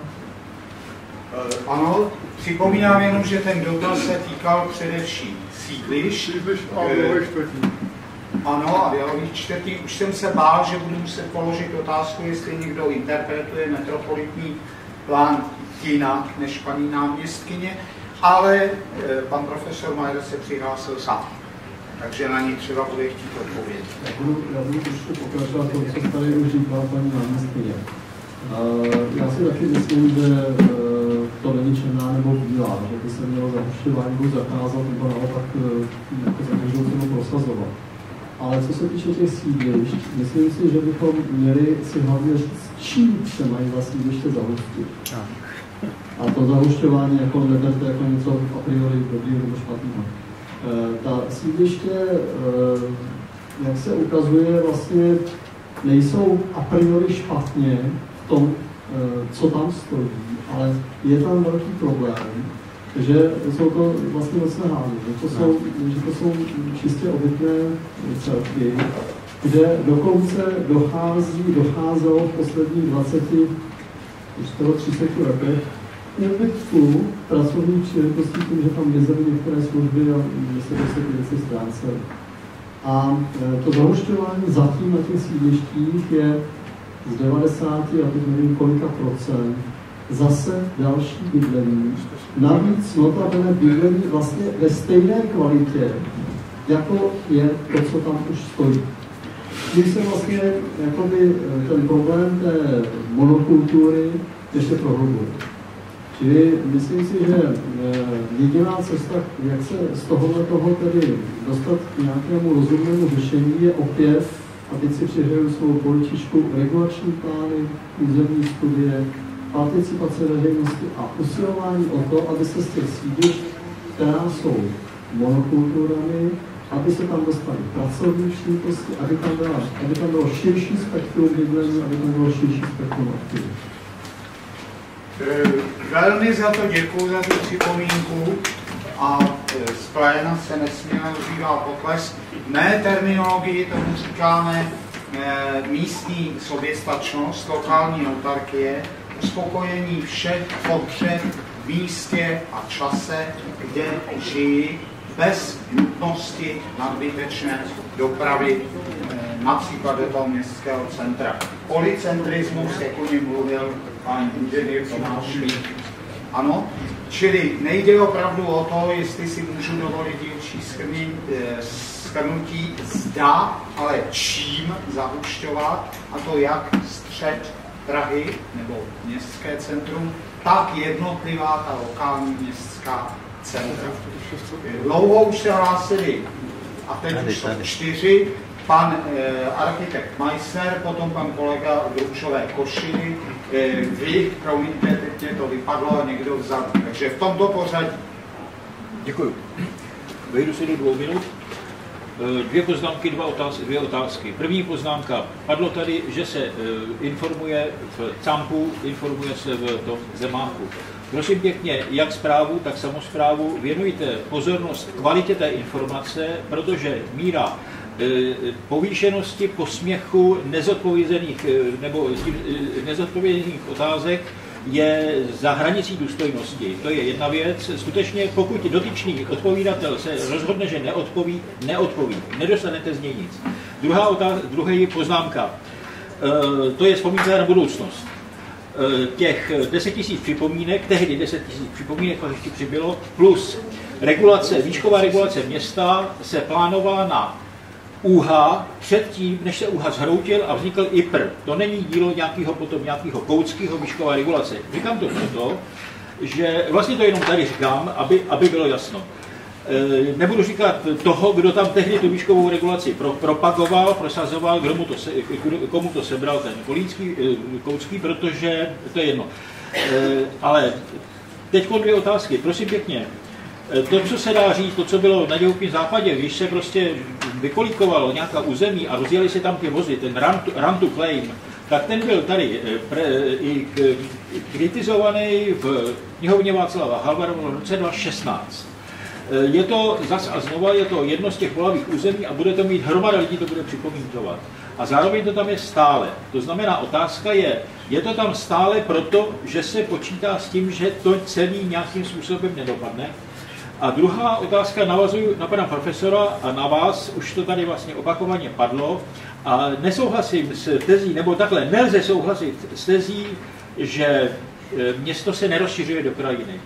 E, pokud se klade e, důraz na kvalitě zpracování nebo hustotě zpracování na centrum, přes to, co jste tady říkal, že tady některé části teda jsou zaflákané dosti, Pokud se klade důraz na centrum a nedá se, ne, neklade se dostatek důraz na minimálně administrativní hranice Prahy jako takový, tak to město jako takový se nám rozrůstá, respektive takhle pokračuje ten trend, o kterém víme. V této chvíli se tady nemluví, protože mluvíme o tomto a nemluvíme o tomto, ale to město se rozrůstá, prosím pěkně, funkčně se rozrůstá se všemi dopady dopravními a tak dále, infrastrukturními. Takže je, otázka je, eh, do jaké míry ve plánu to prakticky není děravý, metroplán to nemá, a kdy začne eh, se vlastně plánovat město eh, ve svém regionu s proměnutí metropolitní. Tak, děkuji. Děkuji za velkou stručnost a teď se ptám tří přihlášených kazatelů, to jste vy dva a potom někdo vzadu, jestli jejich otázky lze nějak rozumně sloučit s otázkami pana inženýra Meissnera. Vaši ne, vaši ano. Vás poprosím o chvilku trpělivosti a vás o dotaz. Pokud je to skutečně k věci nebo rozšířením toho dotazu nebo dvou, jak se Týká se to věci zahušťování a regulací mm. tohoto druhu. Eh, mé jméno je Milan Mondra, přicházím z Prahy 8 a mám specifickou otázku. Jakým způsobem město a městské orgány přistupují k výkladu pojmu stabilita? A to ve spojení stabilizované území. Běžný výklad toho slova, logický, věcný, semantický, Eh, říká, předpokládá, že se jedná o něco stálého, ustáleného, co by se nemělo měnit. Metropolitní plán i dosavadní přístupy města k tomu přistupuji velmi volným způsobem, řekl bych skoro volně, protože pojem stability rozhodně naceněný není. Doložím na příkladu naší lokality. Stabilní území i stávající územní plán pokládá za místo, kde se může pouze odehrát dostavba nevelkého rozsahu, doplňkově, nikoli žádným velkým způsobem zásadní výstavby. Zde bych se zeptal pana čemu se konkrétně, pokud bere číslo 15%, že ustávající územní plán můžeme rozšiřovat půdorisy budov když platný regulativ pro prostorovou regulaci nic takového neříká. Drobné dostavby. To číslo by mě zajímalo, pokud je třeba. Metropolitní plán spoustu území prohlašuje za stabilizované, přitom ale jsou tam další regulativy, které tento plán úplně stírají, pak doslova popírají. Lokalita, o které mluvím, když se krycím listu v kapitole, nebo je tisíc, což je konečné vyhodnocování plánu, porovnají dva koeficienty NS, stávající stav, a NI, budoucí určitě se tak jmenuje, tak rozpíváme k závěru, to je jasný metody, početní úkol na výpočet, že lokalita může být podle metropolitního stavu zatížena až po dalších 34% proti stavu současnému.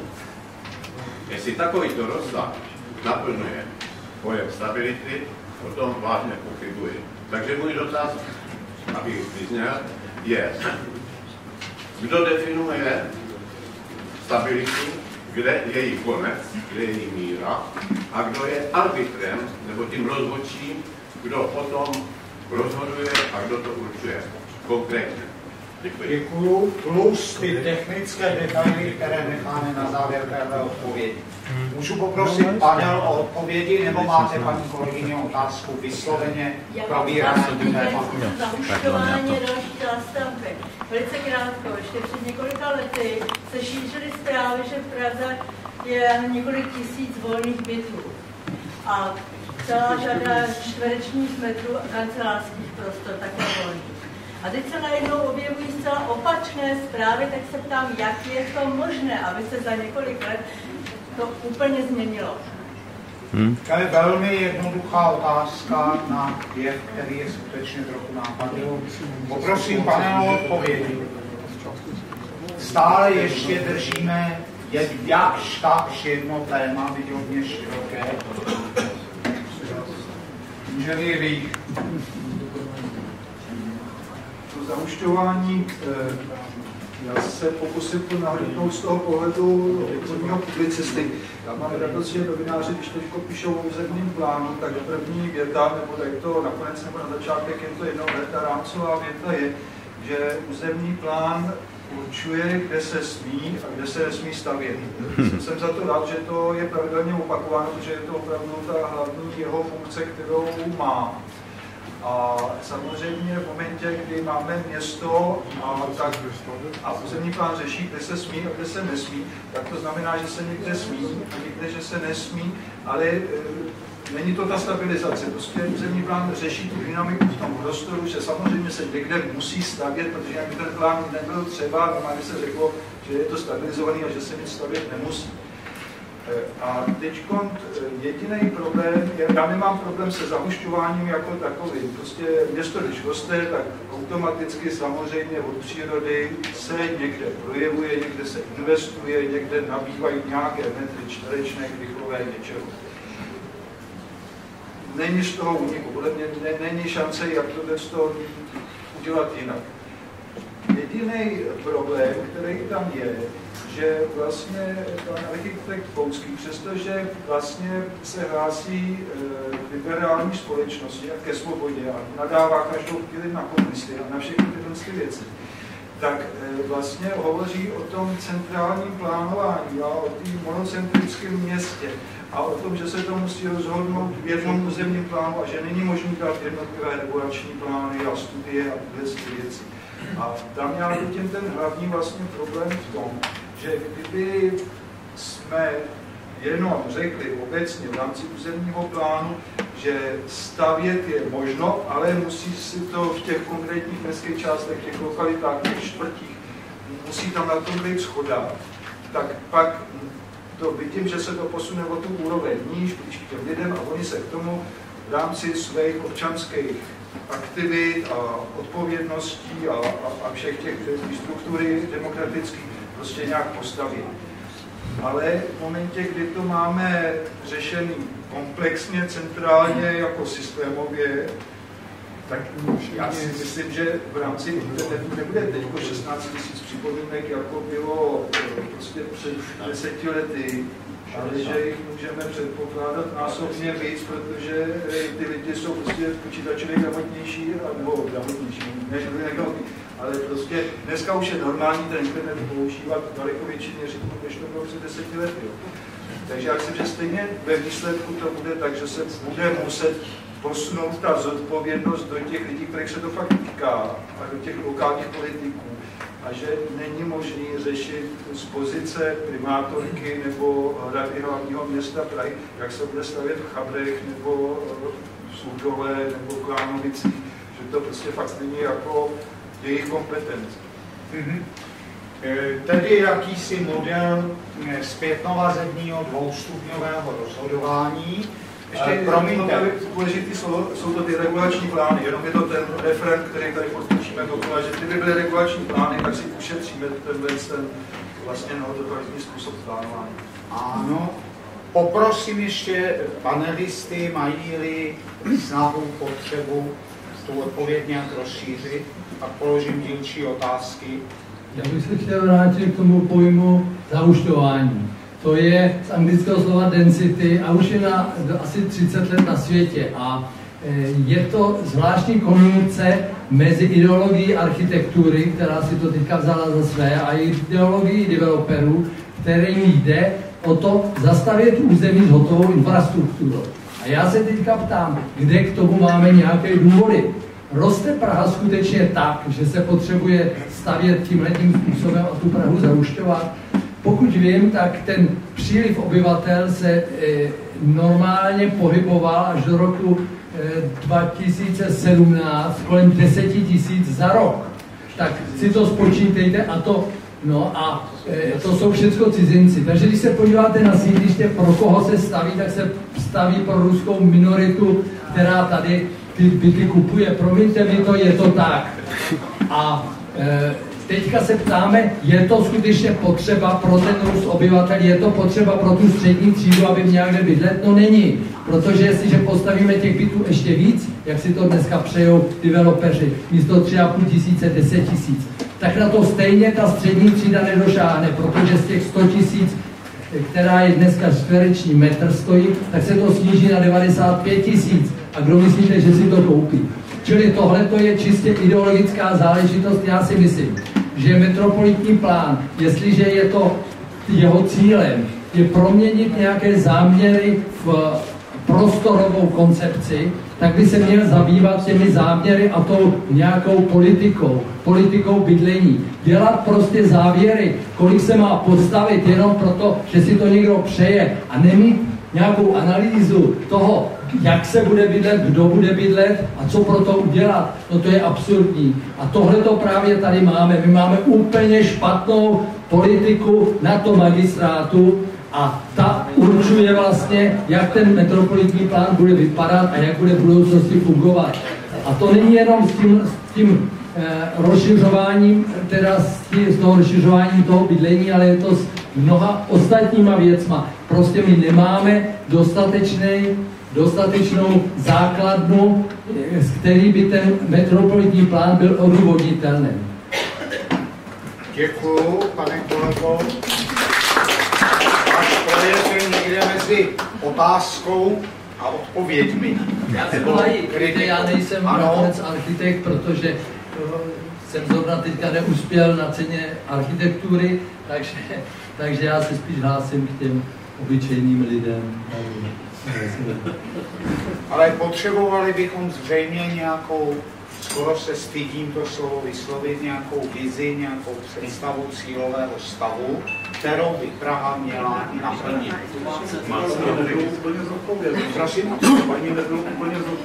Ano, já jsem se k tomu chtěl vrátit. Děkuji za připomenutí. Také ne. Ano, ale dostáváme se do stavu, který eh, hrozí každé takové veřejné debatě, že máme totiž ve hře příliš mnoho témat na jednou a já nejsem natolik obratný žonglér, abych udržel více než pět míčků ve hře.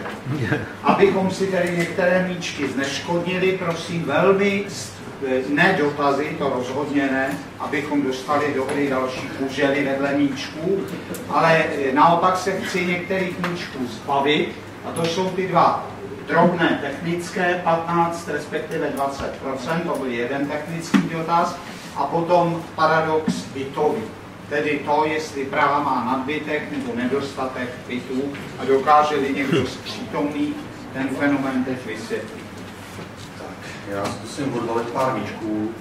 První míček, otázka na kemp. To když tak, až skončí tady diskuze, aby jsme nezdržovali, tak eh, pokud by mi pán sdělil, jestli to bylo z týmu pořizovatele, zpracovatele, stalo by se to nemělo, ten kdokoliv přijde do kempu, by měl odcházet potažmo uspokojen. Jo, nemělo by se to stávat, tak potom, když tak. Co se týče druhé věci, stabilizovaný území, eh, já bych tady zmínil dvě věci dohromady. Současný územní plán a metropolitní plán z hlediska současného stavu, tak navyšování, jak jsem informoval, těch 15-20% a jedno patro je vyloženě ve vyhlášce v současném platném územním plánu u staveb, které jsou v rozporu eh, s dotačnou, eh, dotačnou funkcí. To znamená, vyplývá to ze současného územního plánu. Je to vyloženě tam popsáno, že pokud je skolaudovaná stavba, může se nastavit opatro nebo určitý procenta rozšířit. Takže není to žádná své vůle a výklad pořizovatele nebo úředníka, je to vloženě dáno územní plánu. Co se týče stabilizovaného území, zase ten eh, náhled na to je úplně odlišný. Současný územní plán a metropolitní plán. Metropolitní plán vlastně definuje stabilizovaný území, rozvojový a transformační. Rozvojový transformační jsou tzv. ležatý a vodorovný pyžama, kde buď jsou daný nějaký parametry veřejného vybavení, a e, parkových ploch, které musí být splněny, anebo se to pouze váže e, celkovými omezeními, to znamená, můžou se dostazovat e, objektem a podél uliční sítě a veřejného prostranství.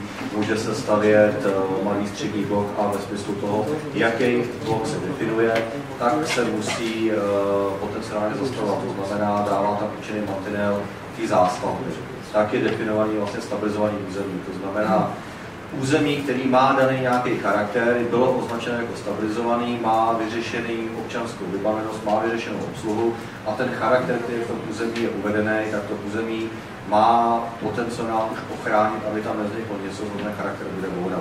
To v těch rozvojových a transformačních území není a tam se vlastně počítá s nějakou novou výstavbou. Co se týče rozšiřování do, krajiny, do krajiny, je to prostě věc názoru. Bude se rozšiřovat do krajiny nebo bude se zahušťovat. Oboje dvoje je možný, ale pak se nebude chránit vůbec. Současný koncept plánu je chránit volnou krajinu a zahušťovat. Jestli tato myšlenka, tento postup je správný nebo ne, může opravdu ukázat to projednání. Systém i toho zahušťování je potom regulován potom tou výškovou zástavbou. Původních plánech bylo definována na patra, teď jsou výškové hladiny, ale limitují patra, které tam minimálně můžou být a maximálně můžou být. To znamená, je to zase systém ochrany a systém nějaké regulace eh, vázání prostě výšky staveb na konkrétní patra. Děkuju. A paradox bytový, chcete vysvětlit vyjádřit? Bytový z jednání eh, komise, na kterém byla i paní náměstkyně, eh, vyplynulo, že bytů v Praze je nedostatek a vlastně metropolitní plán počítá, neříkat kolik bytů, ale počítá s nárůstem, s rezervama, kterýma počítá zhruba půl milionu až 600 tisíc obyvatel. Uh, jestli je to dostačující nebo ne, objevily se názory v uvozovkách až jednou tolik, což je asi přehnaný, ale ten současný plán má tuto rezervu. To, že byty nejsou, je věc druhá a že jsou skupovány a tak dále. Tohle územní plán na zákon není Diskuse se zahušťuje. To vypadá v praxi tak, že dotazů z pléna nebo z dvižených rukou přibývá. Panelisté se hlásí, že by taky rádi něco řekli k těm dotazům, které už padly. Paní náměstkyni. Tak, co se týče, kam se poděly byty, nebo proč nejsou proč dostupné bydlení, myslím, že odpověď je opravdu mimo územní plán. Dostupné byty nejsou proto, že tohle město tady přes 20 let razilo tezi, že je to každého soukromá věc, se do toho obec a městské části nemají míchat. A výsledek je, že ani městské části, ani hlavní město nemá aktuální bytovou koncepci, že neusiluje o to mít nějaký větší bytový fond. V tomhle volebním období se povedlo alespoň zvrátit to, že se žádné nové byty obecní stavět nebudou a všechny, když se lidem před pěti více lety slíbilo, že se jim prodá obecní byt, tak tenhle ten slib my chceme držet, protože si ty domácnosti podle toho nastavili třeba i celoživotní nějakou strategii úspor a, a bydlení. Ale ty peníze, které v nich eh, tou privatizací nebo tím prodejem eh, město dostává, tak alokuje na jeden účet, zřídili jsme fond dostupného bydlení a z tohoto fondu se uh, jednak opravují neobyvatelné zničené byty, které jsou ve vlastnictví městských částí a jednak se z toho připravuje výstavba uh, nových bytů, které zůstanou ve vlastnictví hlavního města Prahy. V tuto chvíli aktivně rozpracováváno tisíc, tisíc bytů. Eh, je to kapka v moři, ale zvrátili jsme ten trend, kdy město vlastně byty nechtělo vlastnit. Eh, a třeba zkušenost z Vídně ukazuje, že pokud je město silným hráčem na trhu zbyty, tak to má pak samozřejmě dopad i na eh, cenu na tom volném trhu.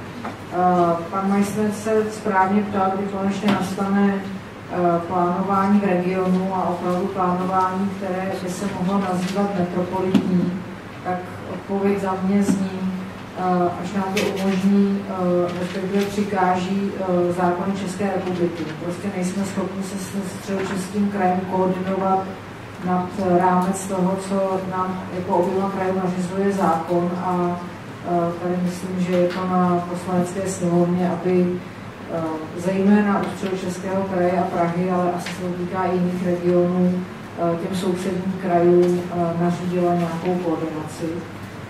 Protože současný plán se samozřejmě tváří tak, že za hranicemi Prahy už nic no. A, a pak tam měla ještě otázku k nějakému území. Já se přiznám, že bych ráda zodpověděla, ale nepochopila jsem, k jakému území se ta otázka váže, tak jestli můžu poprosit ještě připomenout to jméno. To byl pan Vondra. Pan Majster. Už nebudu, už se nebudu, paní Kolínská to řekla. Pan Majster byl pochválen, já jsem myslel, že se ptáte na území pana Vondry. Eh, paní architektka trochu spochybňuje vysvětlení, které se týkalo Prahy a jednotlivých ministerstev. Můžete to prosím vysvětlit? Já jsem chtěla doplnit tady tu informaci o tom, že nejde ta koordinace mezi hlavním městem Prahou, krajem Praha a středočeským krajem. Tak není to úplně pravda, protože existuje takzvaná politika územního rozvoje, kterou schvaluje vláda, no. řeší celou Českou republiku. A právě v téhle politice územního rozvoje, a ministerstvo pro místní rozvoj. A právě v téhle politice ku podivu, co možná je překvapuje, tam se zobrazuje i vnější pražský okruh. A je tam jedno z velmi důležitých témat, je, že se má řešit územní studií, která by řešila koordinaci mezi Prahou a středočeským krajem. A to územní studii, která by měla zejména akcentovat téma dopravy, má pořídit Ministerstvo pro místní rozvoj. A má to svou logiku. Samozřejmě tuhle věc mezikrajskou spolupráci nemůže vyřešit podle stavebního zákona jeden kraj na úkor druhého, ale má to řešit Ministerstvo pro místní rozvoj a je škoda, že tady teda není, že to neslyší, že neví, že ten úkol má, si to samo pořídila a měl na to vědět. Takže ten nástroj tady je, ale prostě se nedělá. Eh, ne, prosím, protože vy už jste mluvil hodně, pane kolego, a máme spoustu neuspokojených tazatelů, počínaje vámi, pane kolego, vy už opravdu dlouho čekáte. Jmenuji se Emanuel Svoboda, jsem stráž ochrany přírody z Českého kraje. Praha nemá záložní zdroj tepla pro případ výpadku dodávek zemního plynu z Ruské federace.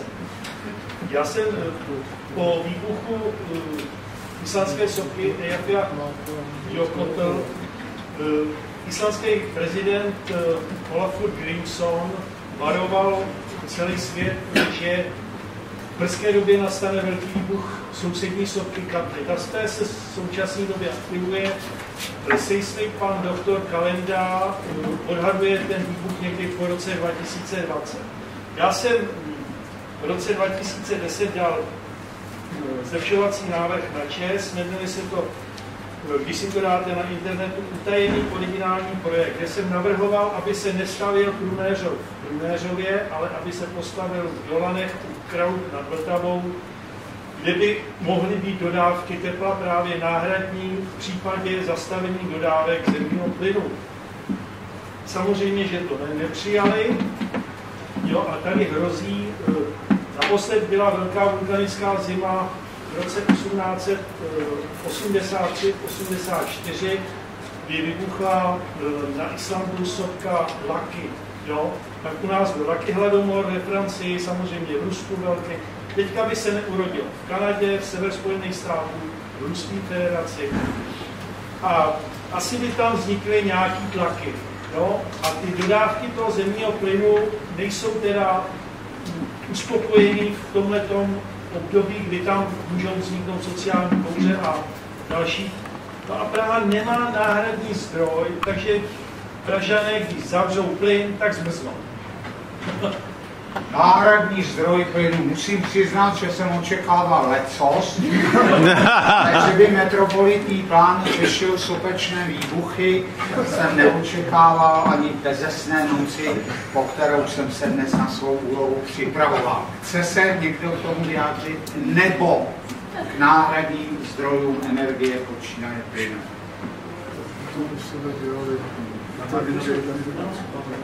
plynu? Abych jenom zareagoval, my jsme přišli minulý podzim eh, na elektřinu. Eh, máme normálně ukáželi samostatný kotlík elektrický a vychází to tím, že jsme dosáhneme na eh, ten nižší tarif prostě za větší spotřebu elektrického proudu, tak vypadá to, že budeme platit asi o stovku měsíčně méně než s plynem. Takže já bych to jenom má praktická, že to V případě, že by všichni přešli na elektřinu, tak je to nemožné. něco spadne, ale Vyberte si mezi deficitem národního plynového zdroje a elektrickým blackoutem. Máte na výběr, nestěžujte si. tenhle signál je nebezpečný, měl by značit poznámku ryze technickou. Bude tomu tak i u kolegy Charváta. Ano. Já bych měl technickou poznámku k tématu zahušťování a k připomínkování metropolitního plánu. Je to možná spíš zase pro plénum než pro ostatní. Tady se diskutuje, co, co všude, kde hrozí zastavit. Já bych chtěl upozornit na jeden detail toho metropolitního plánu, který jsme si na Praze 6 pracovně nazvali skrytá rozvojová území. Když se kouknete na metropolitní plán, tak jsou tam v zásadě dvě základní barvy, bílá a zelená. A pak jsou tam šrafované plochy. Šrafované plochy většinou znamenají transformační nebo rozvojová území s nějakou budoucí zástavbou ale hrozně důležitý v tomhle je, a je to součástí i diskuze o zahušťování, že všechny bílé plochy jsou potenciálně zastavitelné a tam už není žádná regulace, žádný územní plány. Řada na, na těch bílých plochách je řada ploch, které jsou dneska zelený, které jsou volný, které jsou infrastruktura, které jsou hřiště. Tam všude hrozí potenciálně zástavba, kde už to nepodléhá žádné regulaci. U transformačního území, který jasně namalovaný, tak můžeme požadovat regulační plán, tak my jako interně na Praze 6 jsme si zadali občanům při připomínkování a my se soustředili na to, na odhalení těchto ploch a na upozornění na ně, protože to je hrozně důležitý a patří tam třeba i území, který dneska patří České armádě, který mhm. se uvolně a kde může vypuknout úplně neregulovaná výstavba se vším všude. Jo. Čili zase jenom poznámka spíš pro plénum, když připomínkujete metropolitní plán, podívejte se na tenhle bod, protože se může stavět i tam, kde to není vyšrafovaný. Svým způsobem do technická připomínka byla, protože je to velmi konkrétní návod občanů k ostražitosti. A taky velmi důležitý. Ano, já se s tím stotožňuji, děkuji za ten komentář. Eh, předpokládám, že panel souhlasí s tím, co kolega Charvat zde řekl. Tím mám na mysli jeho vyhodnocení toho nebezpečí, které v současné podobě metropolitního plánu leží. Já bych si dovolil uh, divokou poznámku. Co doplnit metropolitní plán Googlem foto, uh, foto uh, snímkem Prahy? Aby jsme věděli, kde vlastně co bylo, protože z toho, co nám říká metropolitní plán, nevíme vlastně, kde co je, pokud jsme z té lokality. Doplňte to fotozáběrem Google celé Prahy, tak to existuje. Paní náměstkyně. A to na webu máte, pane Geberte, tam je normálně si můžete prohlídnout uh, návrh plánu a prosvítit si to, jestli si tam upravit tak, abyste viděli, co je pod tím pod to fotomatem. Tohle informaci máte všichni k dispozici. Velmi dobře. A teď prosím vás, e, mám návrh a prosím o jeho vlídné přijetí. Zkusme ty dotazy trošku zkrátit. Zatím jste se drželi skvěle, protože nikdo se nerozpovídal na míru únosnou. Já si to velmi cením, ale protože i čas se krátí, zkusme takové defile, takový výběr několika dotazů za sebou a pak na ně zkusme za pomoci našich panelistů souhrně reagovat. Vás vidím, pane kolego, v pozadí bylo několik kolegů dřív, ale zkusme tři, čtyři, pět lidí vyvolat, stručně formulovat otázku a pokusit se souhrně odpovědět. Prosím, paní kolegyně. Hlásila jste se přece. Dobrý den, já se vedu Slovácku z Národního já bych tady chtěla, ne dotaz, ale chtěla bych konstatovat, jak metropolitní plán přistupuje k památkové péči. Eh, tady kolegyně mi říká, jsem přišla později, omlouvám se, eh, že bylo řečeno, že se metropolitní plán vypořádal... Můžete jít k nám, protože panel špatně slyší, ale váží si památkové péče. Takže panel by rád slyšel dotaz paní inženýrky, architektky Aleny Krusové, specialistky Národního památkového ústavu na památkový urbanismus a územní plán. Řekl jsem to dobře. Úplně správně. Tak, děkuju. Tak já se tedy ještě vrátím k té... Blíž. Už mě slyšíte? Ano. Ještě víc. Ještě víc, ježiš, má to spolknu. Takhle? Takhle, už je to dobrý. Já se to snad i naučím dneska. Tak prosím vás, v té památkové péči. Já už skoro dva měsíce ze své pozice ležím takzvaně v tom metropolitním plánu, eh, protože naše pracoviště připravuje vlastně písemné vyjádření jako podklad pro stanovisko Ministerstva kultury, takže já už se tou dokumentací probírám hodně dlouho. Ale já jenom řeknu krátce eh, k tomu, jaké máme s kolegyní postředy, které se teda týkají té památkové péče. Eh, musím tedy říct, že pokud tady bylo konstatováno, že se metropolitní plán vypořádal s veškerou platnou legislativou, tak se to památkové péče netýká. Bohužel není tomu tak. Eh, protože metropolitní plán, jak tady bylo řečeno, vlastně vymezuje stabilizovaná území a my máme na území hlavního města Prahy jednak tedy památkové rezervace, kam zejména patří Eh, památková rezervace v hlavním městě Praze, památka UNESCO, pak máme ještě eh, několik vesnických památkových rezervací a dále máme památkové zóny. A to jak městské, tak i vesnické. Eh, metropolitní plán vymezuje stabilizované plochy chráněné pouze na území památkové rezervace, té, tedy pražské památkové rezervace v městě Praze. Ono to má takový specifický název a dost často se to plete.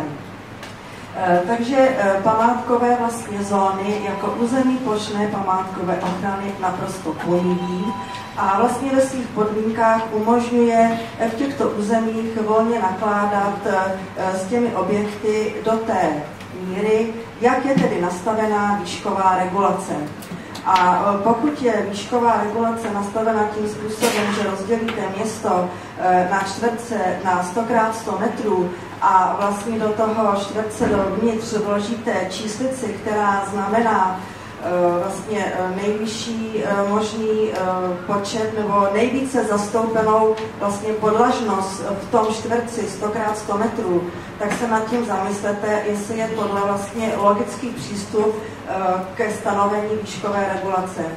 Území plošné památkové ochrany Eh, tam máme chránění plošně nejenom všechny plochy, ale i všechny objekty, nejenom objekty kulturních památek.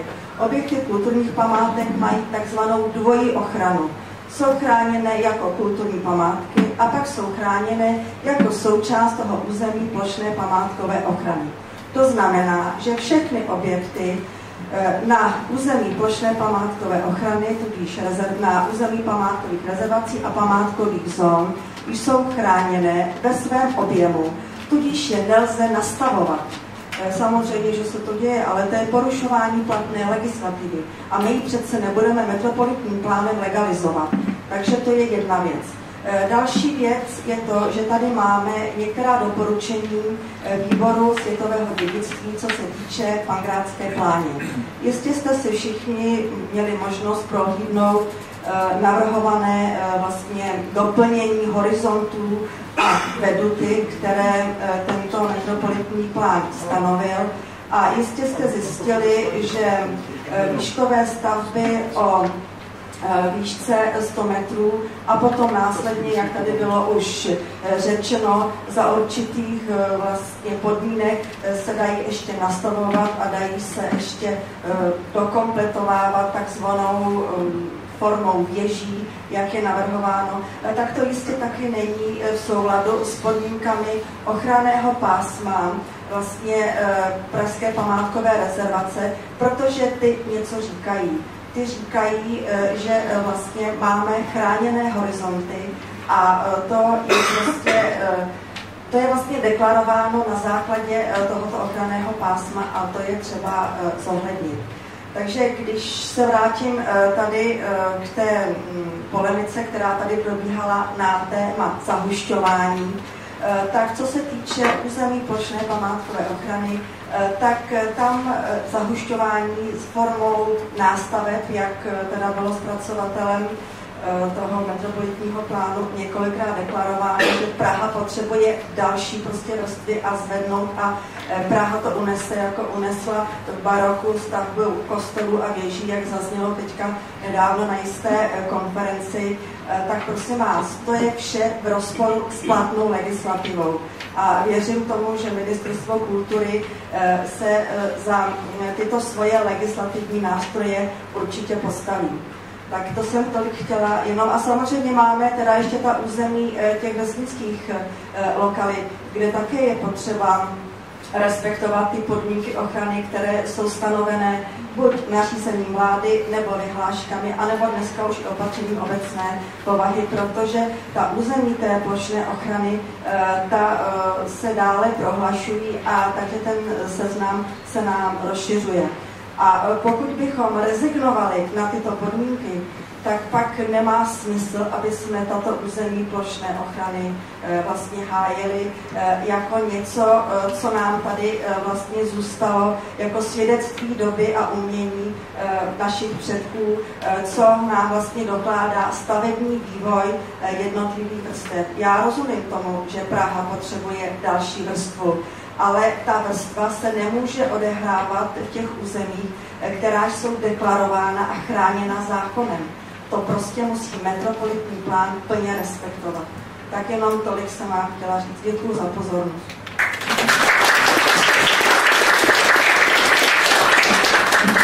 Publikum vás sledovalo velmi napjatě, paní architektko, proto jste také dostala příležitost položit velmi obšírnou otázku a přesto ještě doplním.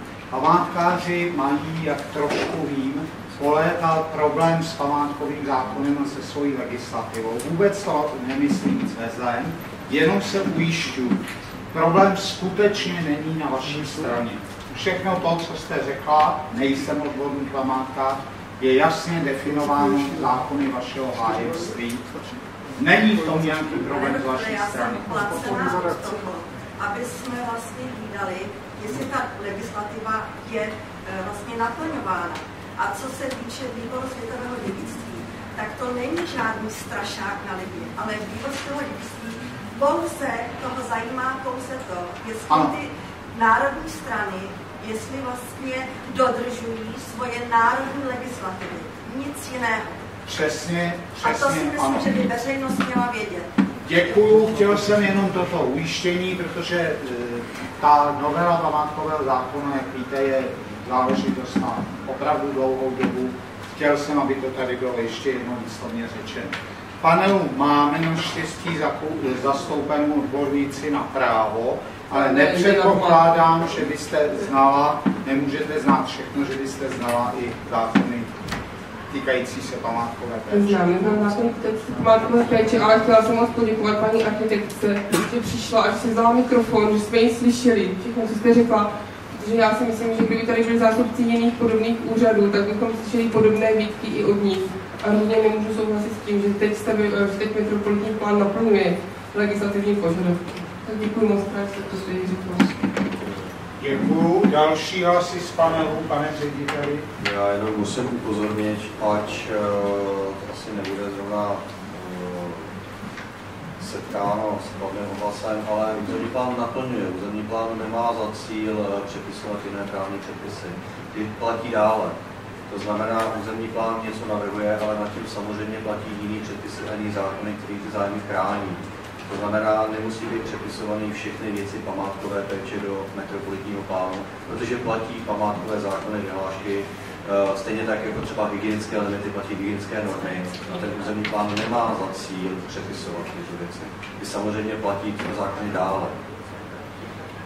Tak, my jsme věděli předem, když jsme se s kolegy trošku radili o průběhu dnešní debaty, že dojde na toto téma v obecné poloze a s památkovým zákonem jsem počítal explicitně, jak paní kolega, kolegyně ví.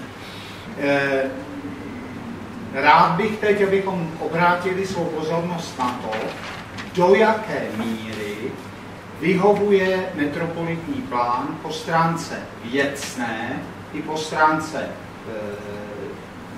formální, tedy materiální formální, e, materiálně i formálně právní, ostatním právním předpisům. Bylo jasně řečeno, že není jeho úkolem je nahrazovat, ale neměl by si s nimi v žádném smyslu protiřečit. Má někdo k tomuto tématu nějaký dotaz?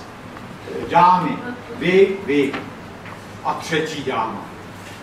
Já jsem z Meduše Zelenková, jsem z České inspekce životního prostředí a zároveň dělám i Mikrofon. Mikrofon.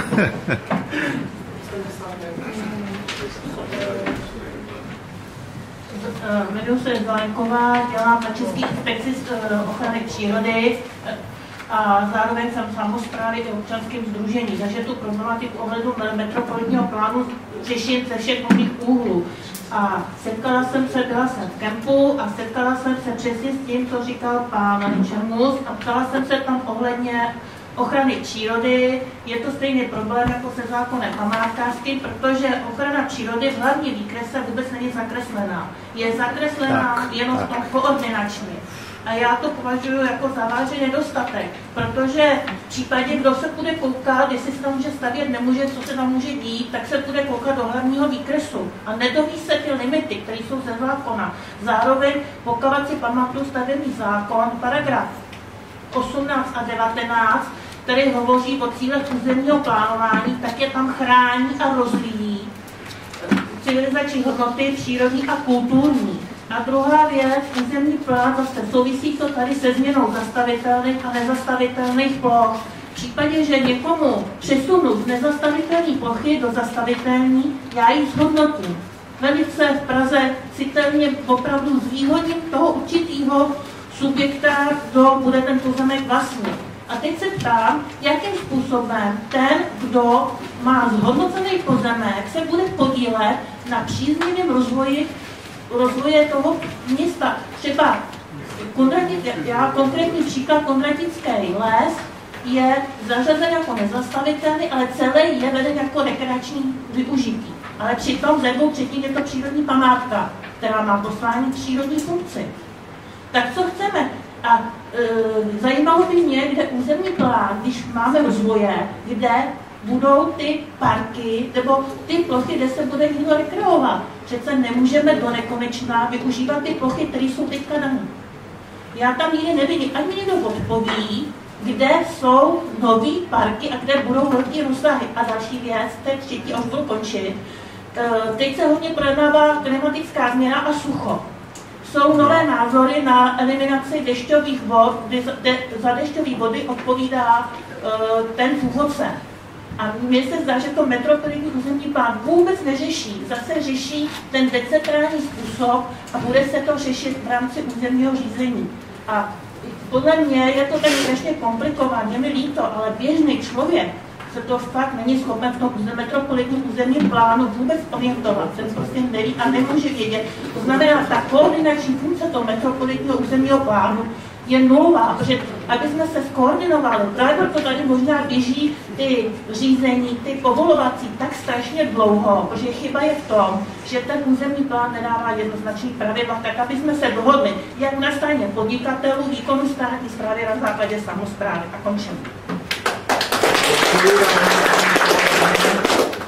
Já sám řeším problém, jestli původcem dešťových vod je příroda nebo Bůh, ale obávám se, že to nevyřešíme. A děkuji vám za to, že jste citovala preambuli listiny práv a svobod, totiž střežit a rozvíjet e, materiální, duchovní, přírodní, kulturní bohatství. Myslím si, že to je opravdu jeden z klíčů. Dostáváme se do poměrně jasně definované pozice, dané tím, jestli metropolitní plán má nebo nemá řešit všechno. Nové důležité slovo, které bylo vneseno do diskuse, je koordinace, jestli má alespoň navádět a koordinovat určitým směrem a jestli tuto úlohu plní. A potom k tomu, jestli tady je nebo není přímý rozpor. Například v podobě zastavěných ploch nějakého rekreačního území jako Plánovického lesa, ale prosím, abyste posečkala, ještě byly dvě přihlášené dámy. Prosím zase s mikrofonem. Já myslím, že nikdo neslyšet. Zkuste to. Poliačiková Národní památkový ústav, já jsem jenom chtěla doplnit, jestli jsem si dobře poznamenala, tak pan Čemus řekl, že e, zákon platí a že nemá za úkol e, třeba například památkový zákon přepisovat. Ale e, v momentě, kdy se v tom metropolitním zákon, metropolitním plánu neřeší situace, kdy ten dvojí způsob popisu těch ploch stabilizovaná, chráněná a stabilizovaná, flexibilní. A je to, vlastně ty plochy jsou stanovovány naprosto bez ohledu, nejenom bez ohledu na památkové zóny, ale ještě ke všemu i bez ohledu na e, plochy těch rezervací. Jo? To znamená, že by e, tak e, pak teda mi řekněte, jakým způsobem e, ten metropolitní plán ty Eh, zákony nepřepisuje. Když mám třeba eh, chráněné plochy pouze ve středu Pražské památkové rezervace a všechny ostatní plochy jsou potom plochy, nazvané plochy eh, stabilizované, flexibilní, ve kterých, když si vezmeme odůvodnění, tak se tam píše, že Praha je povinná nějakým způsobem dopracovat tyto plochy aktivním jakoby aktivně, to znamená stavbami. Tak pak teda mi to nepřipadá jako nepřepisování e, zákonných norm. Děkuji vám, paní kolegyně, že jste nám zase pomohla ten problém trochu zpřesnit. Po formální stránce asi nejde o přepis, ale jde o otevření reálné možnosti. No, a no. o to budíš veden teď spor, jestli musí respektovat abych to řekl velmi laicky, uživatel metropolitního plánu i všechny ostatní zákony, což je zřejmě pozice pana ředitele Čemuse, ale na druhé straně, jestli by metropolitní plán neměl respektovat ty ostatní zákony, abych tak řekl, aktivní definicí jednotlivých ploch. To je, protože mou úlohou je být nestraný, ale domnívám si, že to je teď definice toho problému. Ještě vy, paní kolegyně, a pak se k tomu vyjádří paní náměstkyně. Já jsem Kajvarva, jsem projektantka vodního hospodářství. A v metropolitního plánu mě zarazilo, že e, vlastně proti zákonu o vodách vymezuje rozvojové plochy v zákonných územích. To je asi tak stručně, co jsem chtěla říct. Týká se to ostrovů, týká se to příbřežních zón. Je možné, že v krycích listech nebo v nějakých jiných údajích o lokalitách je uvedeno, že je to plocha eh, situovaná v záplavovém území. Ale vůbec nechápu, jak můžou v rozporu s politikou územního rozvoje do záplavového území no. rozvojovou lokalitu. Tak.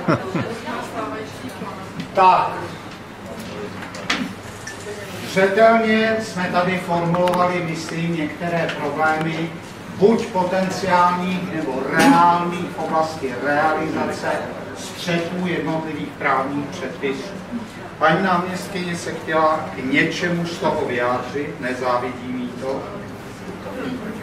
Tak, eh, jak tady říkal eh, kolega Vích, že eh, je rád, že novináři píší, že územní plán je vlastně dokumenty říká, kde se smí a nesmí stavět. Tak já bych ještě ráda, kdybychom si všichni zažili to, že územní plán je společenská dohoda o využití území. A je to vlastně odpověď na tu otázku, do jaké míry má koordinovat to pnutí mezi různými, legitimními, ale protichudnými očekáváními. Myslím si, že to je jeden z hlavních úkolů územního plánu. Že má vlastně ty konflikty nějakým způsobem rozseknout. Eh, a má to tu výhodu, že na tom rozseknutí se k tomu můžou všichni vyjádřit a pak se to rozhoduje na plénu, které je veřejné a každý vidí, eh, jak bylo rozhodnuto. A neodsouvá se to právě do těch neveřejných eh, jednání. Takže podle mě prostě územní plán nemá před těmi konflikty utíkat ale má je naopak uh, rozseknout. A samozřejmě, že ne vždycky ke spokojenosti všech. Uh, druhá věc, uh, připravuje se management Pražské památkové rezervace. Je, řekla bych, jako těsně že dokončení. Já už půl roku na ten tým apeluju, aby uspíšili tu finální verzi tak, aby byla použitelná při komunikování metropolitního plánu. A co se týče zábalových území a rozvoje, asi bychom potřebovali nějaké konkrétní příklady, jenom chci upozornit, že metropolitní plán v tom svém jazyku používá slovo rozvoj i pro místa, která mají zůstat zelená, nezastavěná, ale mají se jakoby v pozorkách transformovat v kultivovanou plochu, která zve k návštěvě. Tak jenom, eh, že to slovo rozvojová eh, nemusí nutně znamenat stavění. A jinak samozřejmě, a jinak samozřejmě se v záplavovém území stavět nemá a, a, a, a to, kde se smí a nesmí stavět, souvisí s tou, řekněme, problematickou vymezení zastavěnosti. Já bych ještě chtěla říct, jak jsem na začátku říkala, že je potřeba se dívat do zadání, co si, co si zastupitelstvo objednalo. Tak v případě parků a historických zahrad a lesů si objednalo vysokou míru ochrany. Řekl, že chce, aby bylo e, tyto, tyto místa byly v nezastavitelných plochách. Takže to je třeba zrovna na chvíli, kdy e, ten tým tomu zadání nevyhověl, nevyhověl. a ani já jsem tomu odůvodnění nenašla, nenašla důvod, proč jsem v tom tom směru odchýlil. To je e, asi důležitý rozdíl mezi zadavatelem a dále pořizovatelem a zpracovatelem. Prosil bych teď už jenom o stručné poznámky. E, pan architekt Meissner se šlechetně zdržel předchozího slova, stručně prosím. Potom Eh, otázku asi špatně odpovíte, eh, vám bude špatně odpovídat, nicméně vlastně navazuji na dámy z památka, eh, od památek a ptám se, zároveň připomínám tu mapičku pana architekta Vícha na začátku, kde bylo to ty NOX nebo NO2.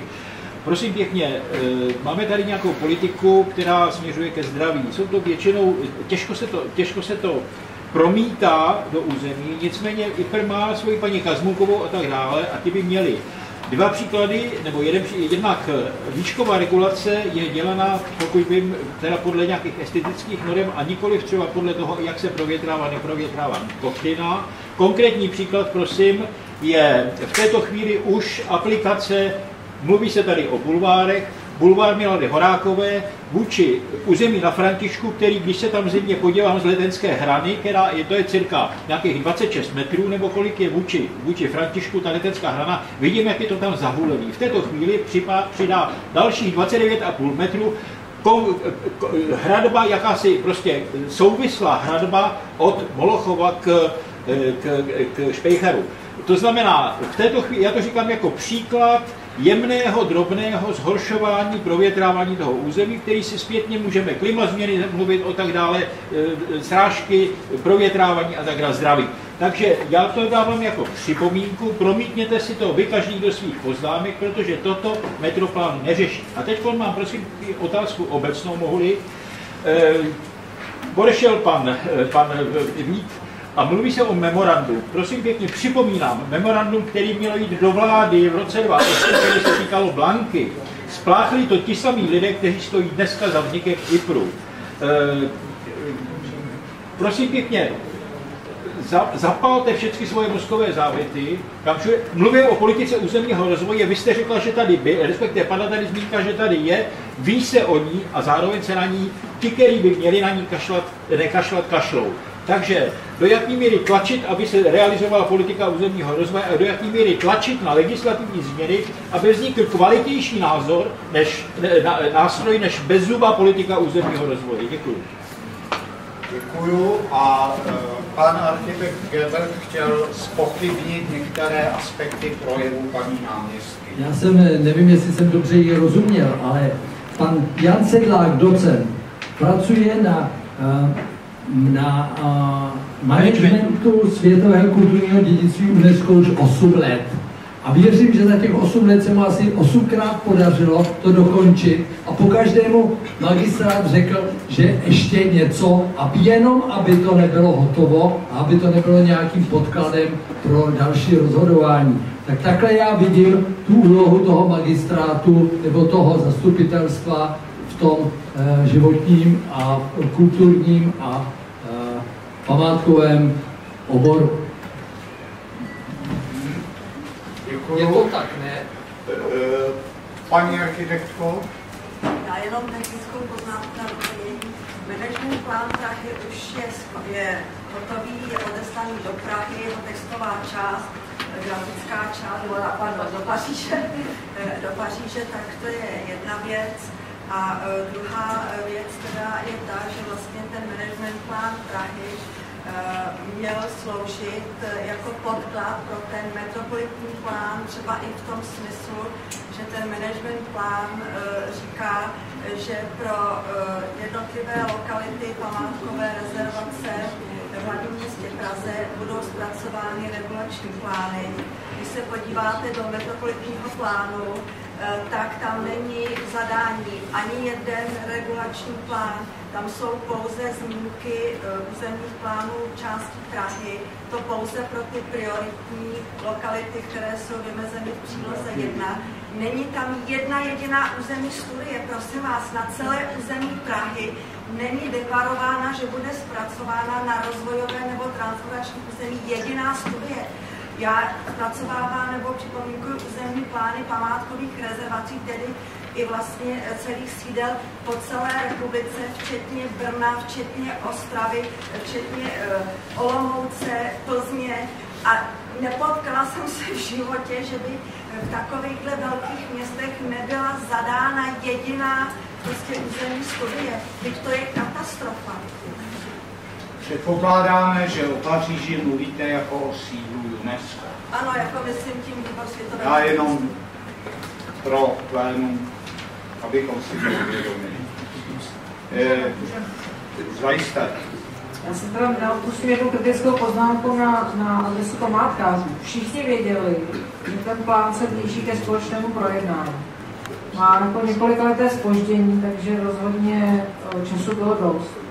A to, že ten management jako nebude schválený a nebude ho možné jako vlastně použít pro to společné jednání, protože prostě z té Paříži se jako nevrátí zítra ani pozítří. To považuji teda za jako vážný problém. A, a, a myslím, že ne v tuto chvíli jako na straně.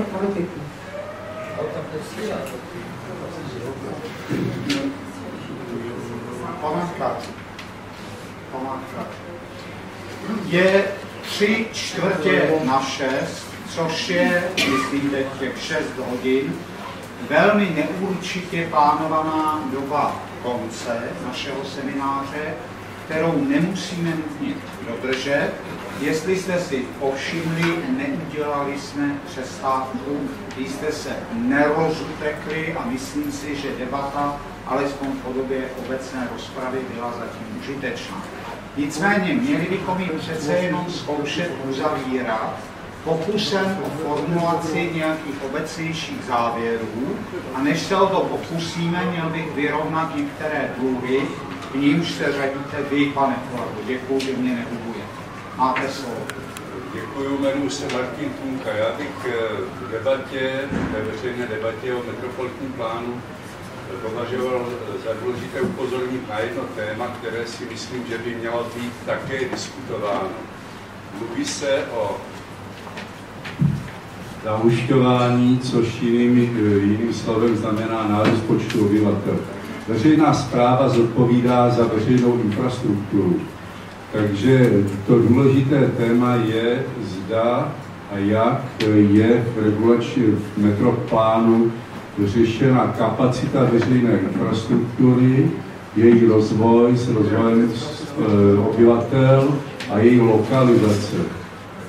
Jenom ilustrativně je tady e, problém bezrozměrných bodů e, na její umístění a to je jenom lokalizace, ale téma kapacit veřejné infrastruktury, to je zodpovědnost, která jde za veřejnou zprávu. Čili doporučuji, aby i toto téma bylo diskutováno a zvažováno při podávání připomínek. Děkuji.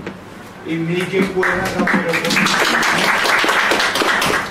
Já za sebe hned dvakrát, protože to směřuje k ideji policentrismu, jak jsme ji tady už několikrát různými ústy formulovali, a ten místní kapacity infrastruktury. A dál děkuji za to, že už jsme se vlastně spontánně dostali do kategorie doporučení. Jestli souhlasíte, tak možná by i pro některé panelisty, nebo pro všechny panelisty, nebo pro všechny z nás, bylo užitečné dovědět se něco o našich postojích k tomu, co byste ohledně e, metropolitního plánu doporučovali. E, Zeman, potom pan kolega, který ještě nemluvil, potom pan Majer.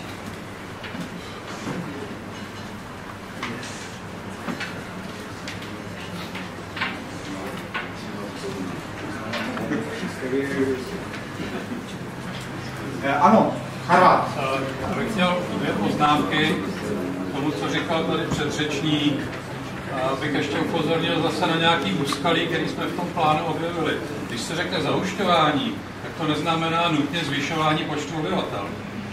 Jenom výklad, který jsme dostali k transformační ploše Smíchovské nádraží, když jsme byli v kempu, tak říká, že 30% té plochy bude věnováno na byty. Jo, pojďte. A počítá se se zhruba 3000 obyvateli, kteří by tam měli sídlit, ale s 8000 lidmi, kteří tam najdou práci v kancelářských budovách. To je informace, kterou jsme dostali v kempu, nevím, jestli je tomu tak nebo ne. Čili dochází k zahušťování, ale ne k zvyšování počtu obyvatel. To je jedna poznámka. A druhá poznámka se týká infrastruktury, protože to považujeme za další velmi důležitý hmm. bod. A to v tom smyslu, že v metropolitním plánu je řada staveb, které jsou často dokonce označeny jako veřejně prospěšný, které jsou developerský projekty soukromých subjektů. Z nich nejvíc do očí bíjící rozšíření letiště Václava Havla, který nás na Praze 6 samozřejmě zajímá tam vidíme jedno obrovské riziko, že tyto developerské projekty, pokud budou schválený, tak protože jsou soukromí, tak budou rychle hotový. Ale jsou obhospodařovaný infrastrukturou, která se platí z jiných peněz, ze státních eh, magistrátů a podobně, kde ty schvalovací procesy a celý ten postup realizace je podstatně pomalejší. Takže se eh, schvalováním velkých soukromých developerských projektů automaticky vytváří riziko, dalšího zahuštění dopravy a dalších negativních dopadů na stávající obyvatele Prahy. Děkuji. Taky děkuju. Teď máme pořadí.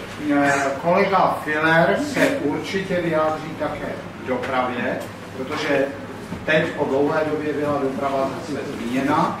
Kolega Getr byl opravdu technickou poznámku. Ano tak Smíchov City původně měla 17 tisíc obyvatel.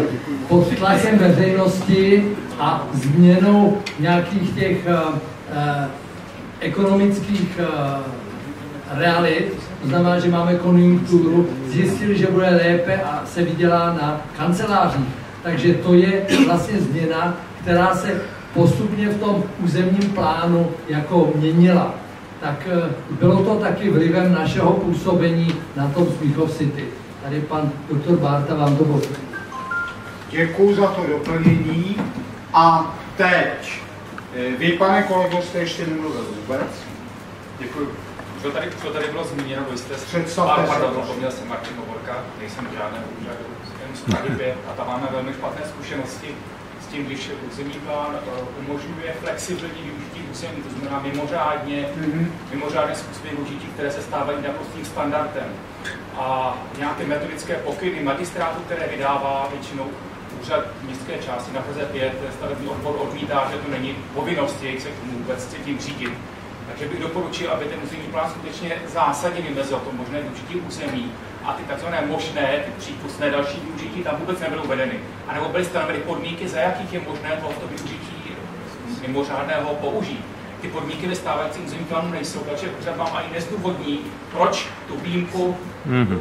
udělal k tomu danému projektu. Vůbec se s tím nezabývá a ty výjimky se stávají pravidlem. Spíš bývá výjimku, že se postaví podle, podle platného územního plánu. A to jsem v tom plánu našel. To je jedna věc. A druhá věc, kterou mám k tomu, je, že ten plán eh, staví horizont 20-30 let, ale já nevidím, z jakých eh, podkladů to budoucí vývoj vycházelo. To znamená třeba, mě konkrétně mě zajímá klimatická změna, která dnes nás netrápí, si máme pocit, ale za 20 let skutečně trápí pro nás velice bude. A za 30 let to může být skutečně katastrofální stav. A my budeme řešit situaci, kterou teď můžeme nějakým způsobem směřovat, ale tam už budeme omezený a nebudeme k tomu mít ten nástroj. To ten územní plán neřeší a naopak tím zahušťování tu situaci dále zhoršuje. Zahušťování nejenom tím, že se zahuští stavby, bude se zvyšovat teplota, ale tím, že třeba 500 tisíc obyvatel dalších Prahy, kde pro ní vezmeme vodu. Jo, třeba tato věc se neřeší. Kdyby bylo nějaká krizová situace, to jsem to plánu našel a to vidím jako, jako velkou slabinu. Poslední, kterou bych se zeptal, bylo také zaušťování území. Tam by chybělo hodně eh, nějaký výhled eh, struktury obyvatelstva. Obyvatelstvo nám stárne, bude potřeba sociálních služeb a e, méně třeba služeb pro, malé, pro malé děti a to ten plán vůbec neřeší, ale bude to pro nás zásadně, zásadně jako problémem. Kor v té okamžiku třeba klimatické změny. To znamená, ten plán by měl řešit schopnost nebo únosnost území v horizontu 20 let pro obyvatele, kteří tam v té době budou přibližně žít. To nevidím. Ten plán je extrapolací stávajícího stavu, jako pokročíme podle toho dnešního stavu, jako by se nic za těch 20 let nezměnilo a přitom to myslím, že nemůžeme předpokládat v základním případě. Myslím, že všichni děkujeme. děkujeme. Schrnul bych to jako... To bylo dobrý. Vidíte, málem jsem vás připravil zasloužený. Schrnul bych to jako nedostatečnou přesnost a přísnost, protože mým úkolem je trochu zobecňovat, a nedostatečné sledování trendů. To slovo vize vyslovujeme s jistým ústychem, ale určitě trendy jako demografický vývoj populace a na úplně jiné straně globální politiky klimatu. Jan Zeman. Já to otázka, co s tím. Podle mě za prvé zrušitelné metropolitní plán vrátit se k metodice konceptu územního plánu. Tu přesně několika se zaprvé dá stop jakémukoliv zábudu zeleně, za druhé stop výškovým budovám, za třetí žádné zahušťování usilených sídlišť a nových čtvrtí. Za, za, za čtvrté ne, neměnit nákladní železniční nádraží na jakékoliv jiné účely, kdy potřebujeme nákladní železniční v Praze, aby se mohli trochu omezit auta. A, a za páté, žádné čtyři bary musí být 24 bary tak jako dosud. To, co chcete, to je, aby prakticky byly pouze bytovky, které kanceláře ostatní tam být vůbec nemusí když se před lety vyhodnocoval Praha 13, pokud jde o silné a slabé stránky, co, to, to, co vyhrálo staré žlové čtvrtí a nová plavba s socialismu, to totálně propadlo veškerá nová polistopadová výstavba. Plus dálnice D5 tak dále. Ale a proč propadla? No, protože to jsou pouze byty, které se přižijou na okolní infrastruktuře, která je někde i dost daleko, ale tam ještě to zase tak není. Ty sídliště byly dělané komplexně, a to zase pokud ty sídliště budou komplexní, včetně škol, školek, obchodů, zdravotních středisek, poliklinik a tak dále, parků, tak je to naprosto špatně. Jo? A Hudeček se nechal slyšet, když boural koncepce plánu, kde to bylo zájmy dílu pro ostatní může chcípnout. A vy v tom pokračujete další čtyři roky. Já prosím. Já jsem Ivane. Eh, ještě to kolečko dokončíme. Já mám jenom opravdu trošku technickou poznámku. K tomu zahuštění, zahušťování bylo opravdu už upřesněno, že není zahušťování jako zahušťování, že jde o to, jestli stavět nové byty, nebo jestli naopak vytvářet policentrickou infrastrukturu k uspokojení místní soběstačnosti.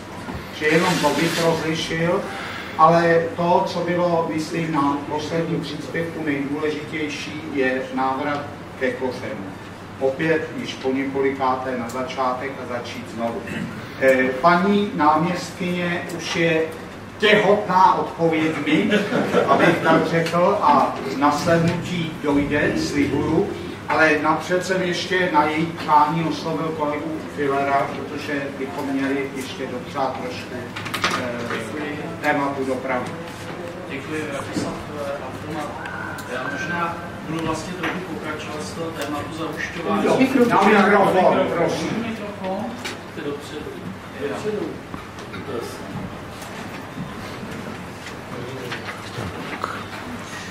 Tak, tak. Eh, já možná ještě se trochu vlastně otočím kolem toho zaušťování, protože to má právě dopady eh, na dopravu. Eh, my jsme se snažili přijít na to, jak vypadá metroplán v oblasti dopravy a v podstatě to, že se zvyšuje využití území, znamená využití, jako známe vyšší intenzity dopravy.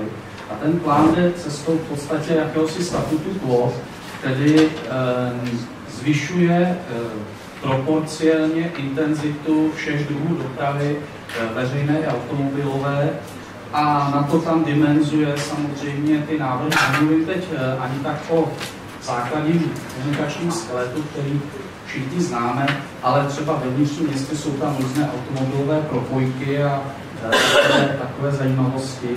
A v podstatě eh, domnívám se, že do jisté míry lze zvyšovat počet obyvatel ve městě i v tom vnitřním kompaktu, pokud ale ty dopady na dopravu nepůjdou tím směrem, že se to všechno, nebo že se, to, že se zvýší objem okolné dopravy, ale pokud to jako utáhneme dopravu veřejnou, na což si myslím, že tady rezervy jsou, ale ten plán to nereflektuje dostatečně, že když se tam podíváte, tak je tam D, pak, eh, pak metru skoro z dalšího, kde ale zase nutno říct, že koncepce města, pokud jde o rozvoj sítě metra, je značně neujasněná a jsou to takové výstřely do vždycky od někud vypadne nějaká studie.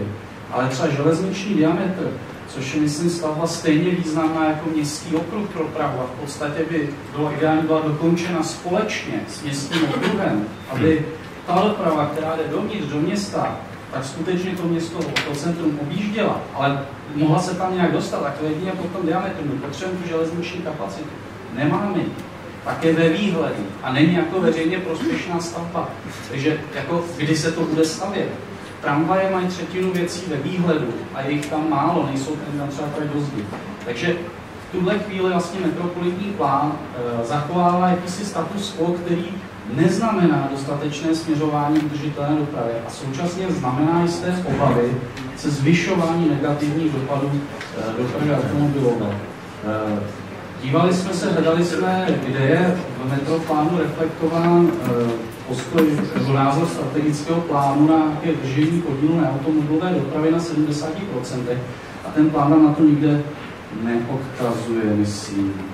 Takže eh, jenom ta poznámka, že eh, to město může se rozrůstat nebo může se koncentrovat a zahušťovat, ale musí tomu odpovídat způsob uvažování o dopravě a tu, tady vidíme jako vlastně nejvyšší, největší rozpor mezi tom, uvnitř toho plánu, že on to něco koncentruje dovnitř, ale dopravní obsluhu řeší, jako kdyby se dál mělo, uh, mělo rozšiřovat. Tak, děkuji. Děkuji kolegovi Filerovi, že nám rozšířil pohled. Paní doktorka Zaumenská mě poprosila, aby se s vámi mohla rozloučit protože jste svědky zvláštního uchazu, kdy Brno přijelo pomoci Praze s metropolitním plánem. Si to duze vážíme, ale paní doktorka tu pospíchá na to. Děkuju. Já jsem, si, já jsem vám předně chtěla poděkovat, že jste přišli a moc si vážím všeho, co tady zaznělo, protože já jsem ani neměla, co bych komentovala, protože všechno, co jste řekli, říkáme i my v Arnice. A je to výhrada i mnoha jiných odborníků a mnoha jiných spolku a občanů. A chtěla jsem vás poprosit, abyste připomínkovali a chtěla jsem úplně připomenout, ještě než odejdu, že my se tady bavíme o, o, všem, o všem, co tady zaznělo, ale nezaznělo tady to, že Praha potřebuje územní plán a já úplně často na tím, kolik moc energie se věnuje obhajobě toho metropolitního plánu v stávající podobě, který přitom bude předložený soudu. Ale nikdo z nás nemá zájem na tom, aby ten územní plán byl zrušený soudu. Yeah. Nikdo nechceme, aby Praha neměla územní plán. My chceme, aby Praha měla dobrý územní plán. A i myslím si, že s touhle optikou bychom se na to měli dívat, protože jestli se budeme dalších pět let pachtit nad tím, co tady máme, a pak to přijde KNSS a nejvyšší správní soud to za 90 dní zruší, nebo respektive vlastně ten městský soud v Praze a pak nejvyšší správní soud s kasační stížností, tak Praha bude bez územního plánu a to nechceme. Proto si myslím, že bychom to energii měli věnovat tomu, aby ten plán byl dobrý a aby obstál, protože to potřebujeme a ne být bez územního plánu. Tak děkuji moc krát. Já jsem se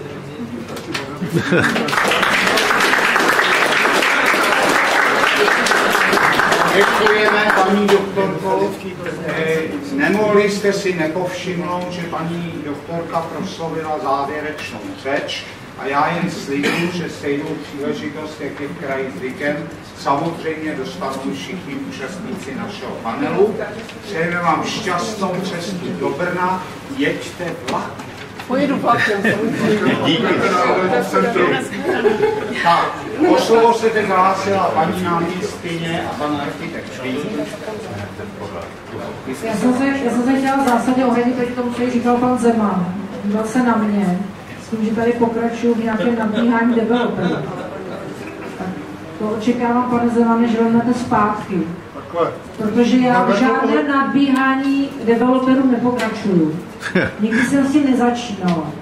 Jasně jsem řekla, že se zpracovává metropolitní plán na základě zadání, které schválilo minulé zastupitelstvo. S týmem vybralo minulé zastupitelstvo. A je v demokratické společnosti jako fair některá rozhodnutí zkrátka respektovat.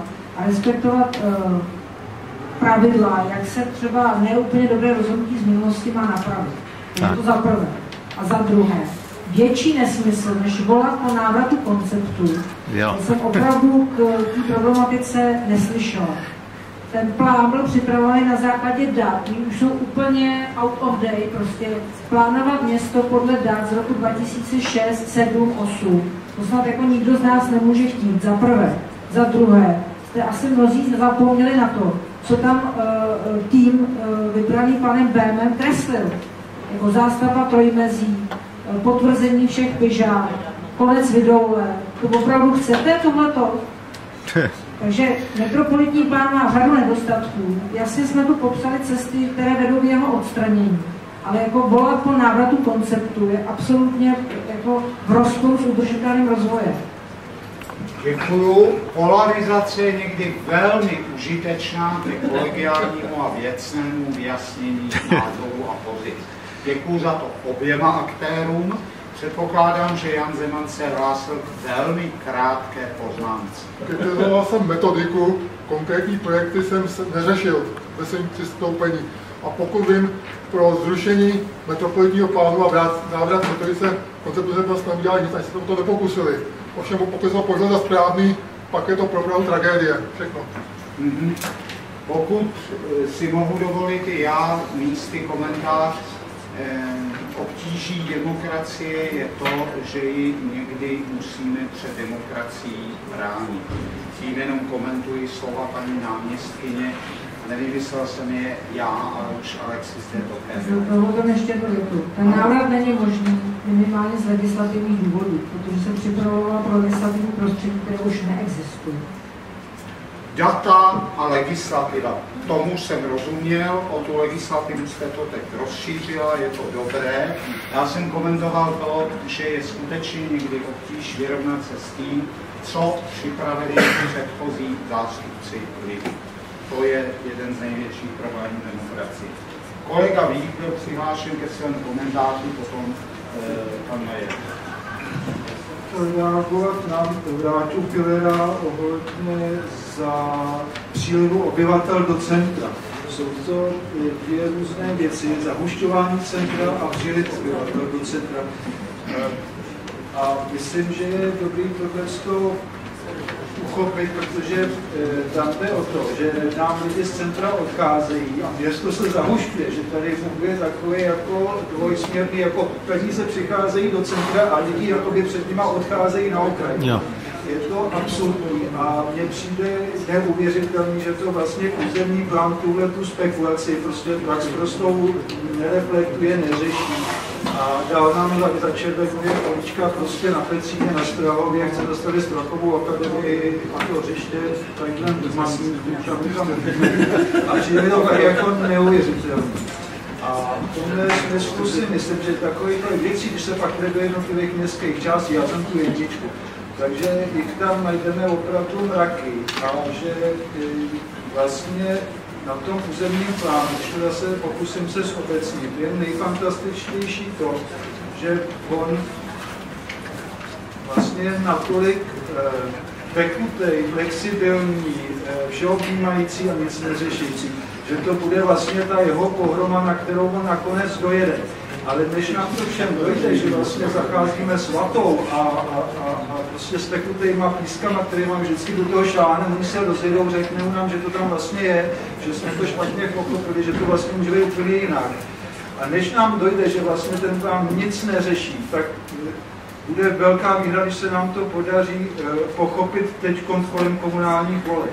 Další eh, věc bude, že se což bude, zřejmě už se nám sedí nějaký množství připomínek a už z toho něco nahlídneme, co se vlastně jako ve skutečnosti děje. Třeba my těch neziskovkách to vlastně víme, ale nevím, jestli to vědí politici a uvědomují si, že vlastně tady čtyři roky připravovali jeden plán, teďko pět let nebo jak dlouho připravují druhou plán. A že to klidně, navzdory všem dobrým předsevzetím, může dopadnout tak, že zase žádný plán nebude a že se bude muset změnit metodika, že se bude změnit koncept, ale samozřejmě já bych byl rád, kdyby všechny ty připomínky, co už se udělali před těma pěti lety nebo osmi vlastně, nebo to letí ten čas hrozně, a co se teď znova nakumulují, kdyby prostě nespadly pod stůl, kdyby se všechny vzali, rozdistribuovali se na ty konkrétní místa, na ty konkrétní městské části, a tam se z toho udělali ty regulační plány, o kterých tady stále dokola se bavíme. A z koncepčního plánu územního se opravdu udělal koncepční územní plán, jak je v Evropě zvykem, který nebude závazný. Ale ty závazný, všechny ty podklady od vás, od lidí z těch lokalit, se prostě nadspou do těch reguláků a ty už pak závazný budou. Jo, ale je to to, že my jsme, my jsme potom psali v roce 2016 prostě do toho našeho metropolitního memoranda, Rudolfinského. A tam šlo o to, že prostě my jsme na křižovatce, ale my na ní stojíme už 20 let. Jako, jo. To není jako s Konským, nebo třetím s Durdíkem, nebo prostě třetím. Já jsem vám promítal ty obrázky prostě od.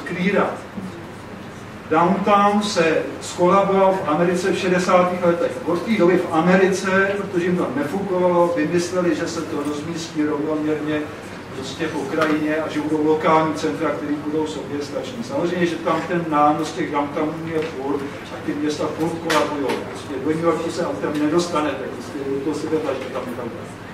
A, a, a, abych eh, dokončil, a už jsem se trošku moc rozhodnil, eh, eh, jde mi o to, aby opravdu se ten potenciál a ta křižovatka konečně rozsekla a řeklo se, ano, chceme dělat město krátkých vzdáleností, chceme, aby lidi, kde bydlejí, aby tam i pracovali.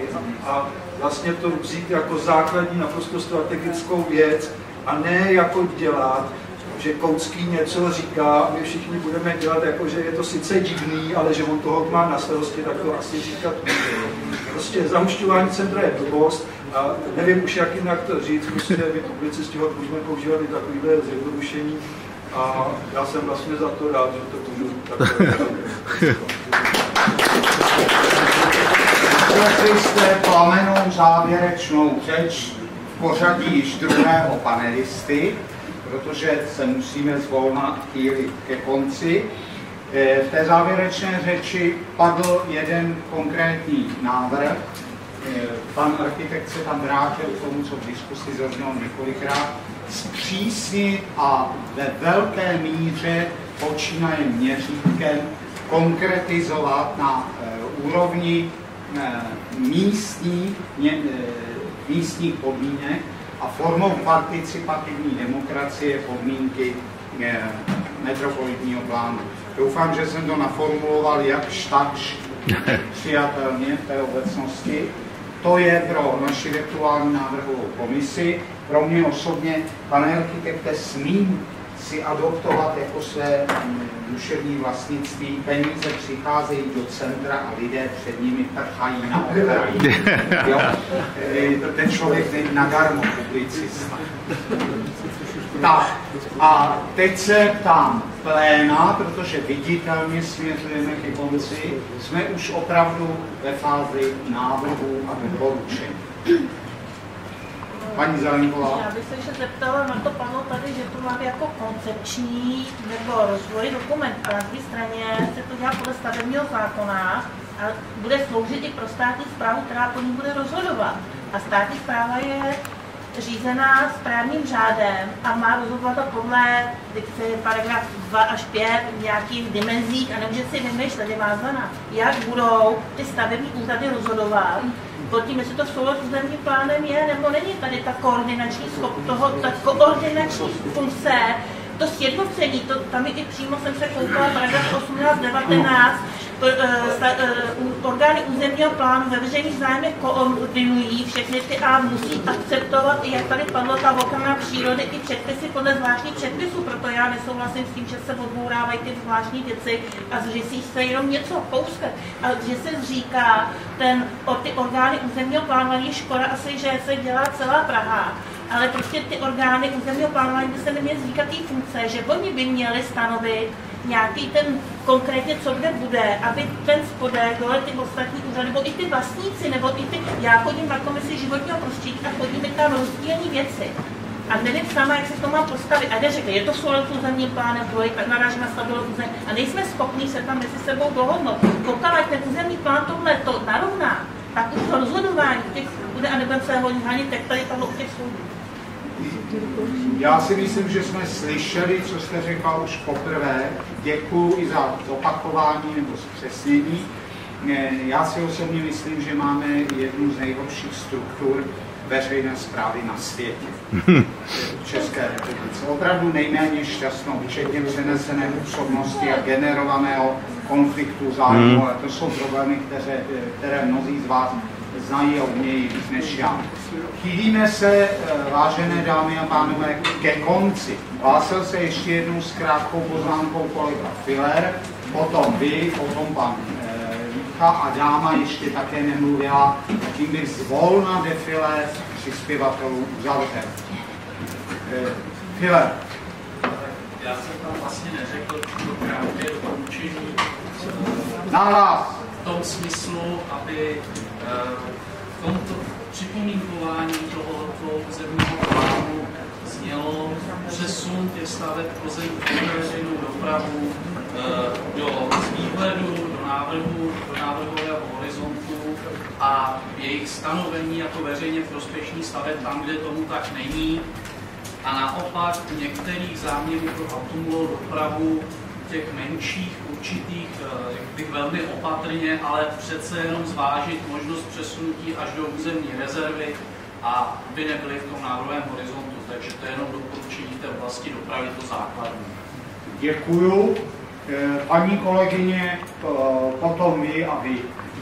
Eh, já jsem Bartošová, Praha Kolovraty. Eh, mě trošku mrzí, že už se nedostalo asi z časový důvod téma zeleně, tak jenom doplním, my jsme z eh, východního okraje Prahy. Nás to tam velmi pálí, protože nám tam zmizela vlastně navrhovaná zelený kolem Pražského okruhu, což je teda pro nás velký problém, vlastně povede v bezprostřední blízkosti kolem Kolovrat a byl to takový kompromis a taková tichá dohoda, že se budeme akceptovat s tím, že tam budou tyto nastandardní opatření a zkrátka nechtějí se nám to tam eh, na všechny připomínky, konzultace, nechtějí nám to tam dát, takže to budeme dávat samozřejmě jako zásadní připomínku a i další návrhové zeleny, které to zkrátka úplně zmizely a to ostatní už to zaznělo eh, navrhované rozvojové plochy bez občanské vybavenosti a podobně. Děkuji vám. Majer na mě naštěstí mírně stále ještě volá a má úplně pravdu, že už jsem ho třikrát vynechal. Pane kolego. Promiň se. zase. Uh, no, protože se blížíme k závěru, tak uh, bych se rád zmínil o poznacích, který si odnesu a budu je šířit, seč mi budou fakt síly stačit. Uh, účel územního plánu zvané metropolitní Eh, myslím, že to masivní zástavba zastavitelných území eh, přesně eh, se mi to potvrdilo panem Markovitem, téměř jmenovcem Majerem, který poukázal na zeleň a kroky veřejného vybavení. Přesně ten názor jsem zjistil, když jsem ten územní plán prohlédl. Takže už jenom tyhle dva body vedou k tomu, že ten územní plán, ten, ten metropolitní plán prostě takhle nejde jenom pokračovat. A e, pokud se týče té tvorby, tak jsem si potvrdil bohužel ten názor, který se uplatnil u pražských stavebních předpisů, který byl silově podle mého názoru protizákonně prosazený. E, že prostě je to dělané hry hierarchicky se, se stupně developer, analytik, e, architekt. Bohužel dva z těch zástupců to nejsou a z těch politiků tu není ta garnitura, která to eh, způsobila. Byl tu, teda jmenovaný pan ex-primátor Hudeček, který už se pro jistotu vystěhoval.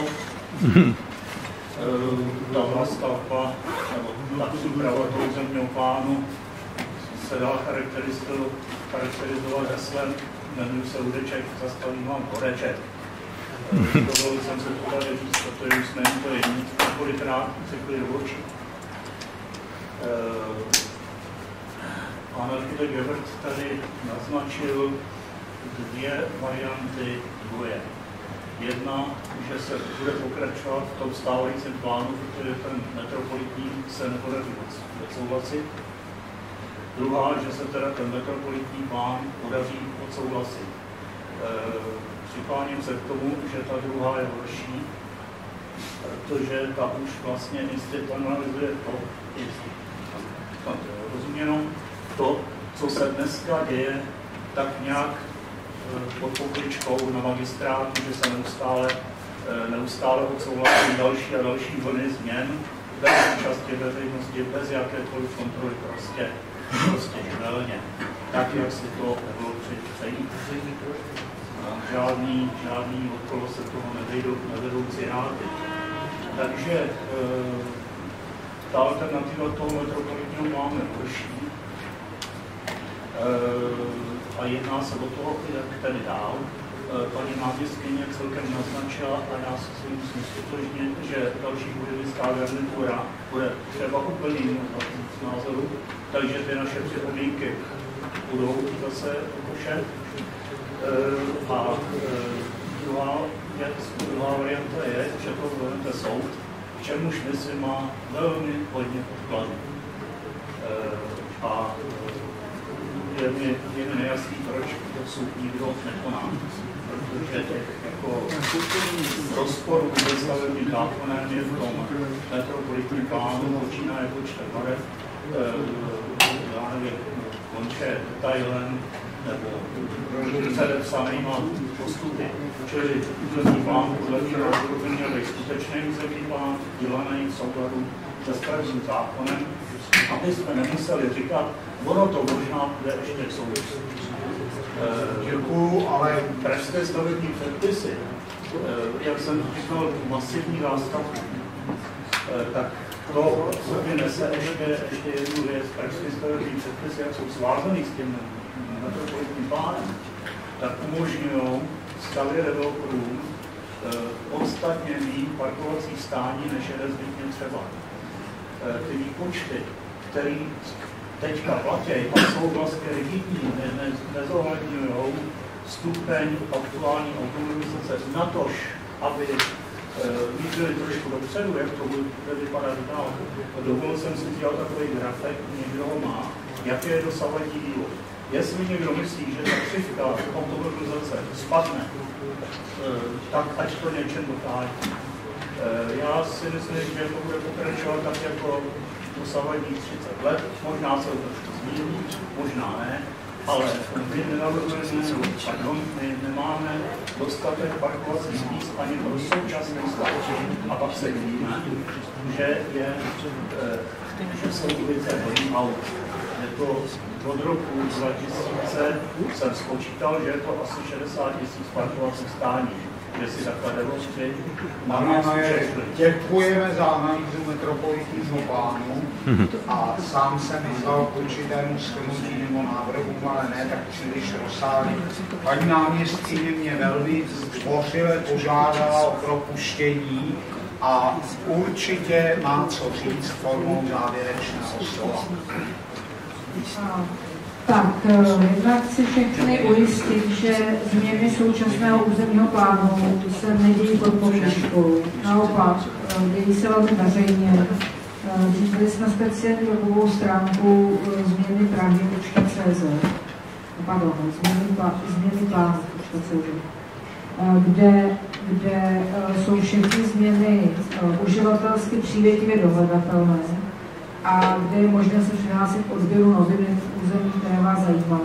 takže už žádná změna i projednání nemůže uh, utéct vaší pozornosti, to za prvé. Uh, za druhé, uh, apeluji znova na to, abyste se potkali se svými volenými zástupci na úrovni městských částí, protože jsou to zastupitelstva městských částí, které mají ještě dva měsíce, ale spíše fakticky měsíc na to, aby se sešli a vaše vždy velmi uh, rozumné a legitimní uh, přání promítly do těch zásadních připomínek. Uh, za třetí, opravdu si myslím, že jediná cesta ku předu je napnout všechny síly k dopracování, k přepracování toho plánu, který je teďka na stole, nikoli žádný další pokus o začátek úplně znova. A, a za čtvrté, a to je možná jako věc, která uh, no, uh, jsou tu zásady územního rozvoje. Uh, je asi rozumné se připravovat i na situaci, že bude třeba Praha, řekněme, 6 měsíců bez územního plánu, protože třeba prostě nestihne ten termín rok, konce roku 2022, ale i když ho stihneme, tak zásady územního rozvoje jsou poměrně důležitý dokument, který ovlivňuje podobu připravovaného metropolitního plánu. A tyto zásady územního rozvoje jdou teďka v 14.6. na zastupitelstvo zpráva a uplatňování zásad, což je de facto zadání pro jejich aktualizaci. Bohužel tu věc předkládá nikoliv já jako bezpečný příslušný radní, ale paní primátorka, která tím vyřešila náš spor o obsah té zprávy. Já s tou zprávou tak, jak je, nesouhlasím. Uh, ona má za to, že se má schválit. A uh, takže vám těm, co se tomu věnujete hodně do hloubky, tak doporučuji uh, doporučuji sledovat to, co po zítřejší radě bude zveřejněno, protože ta zpráva o uplatňování zásad územního rozvoje je, řekněme, dělána na míru potřebám metropolitního plánu v té podobě, jak byl zveřejněn. To znamená, snaží se ty věci v územním plánu spíš zjednodušovat, někoho zpřesňovat. A, a bude to mít vliv, ta zpráva na uplatňování zásad bude mít samozřejmě vliv na uh, možnost, jak vypořádat připomínky došlo k návrhu územního plánu. Děkuji vám moc za ten zájem, které tomu dokumentu věnujete. Myslím si, že opravdu platí, že jaký si ten plán uděláme, takový ho budeme mít. Považuji za sílu a jaksi dobrou zprávu, že žijeme v zemi, kde funguje opravdu demokracie, kde ta síla lidí a jejich, názorů má prostě reálný průměr těch věcí. Věci se prostě nerozhodují nikde kde v zavřených kancelářích tam veřejnost nemůže, jsou tady zástupci médií uh, a uh, to, že, to, že máme těsně před volbami, myslím, jako naopak pro to projednávání výhoda, protože si každý zastupitel uh, dá zvýšený pozor na to, co vám, jak vám té věci vyjde vstříc. Takže buďme sebevědomými občany a ty správné možnosti, které máme, využívejme a nespolehněme na, na soudní rozhodnutí. Děkujeme, paní náměstkyně. Myslím, že paní náměstkyně zaslouží dvojité poděkování za erudici a za statečnost. Stojí totiž za zmínku nejenom to, kdo se dostavil na dnešní jednání, ale e, i to, kdo se na ně přes opakovaná pozvání nedostal. Děkujeme, paní náměstkyně.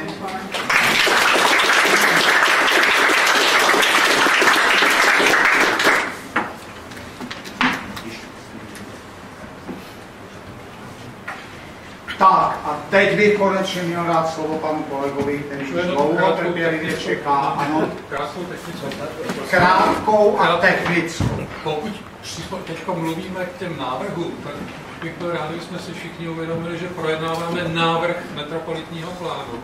My teď neřešíme, jestli bude soudně napaden, jestli se vrátíme k původní koncepci, my jsme dostali šanci se vyjádřit k metropolitnímu plánu a tuhle šanci musíme využít. A pokud z našich připomínek vyleze nějaké z těchto řešení, tak to je až druhý krok, jenom tohle jsem chtěl říct. Děkuji za tu poznámku. Pane kolego, máte konečný slovo. Já mám skutečně jenom jednu poznámku k tomu zastavení, který e, zaúčtování Jo, díky. bylo jádrem dnešní teda debaty. Mrzí mě, že nezazněly spíš výrazy, kterým snad víc rozumíme. Existuje teda zastavěné území hlavního města, existují procesy intenzifikace a ty procesy prostě zapušťují jenom někde.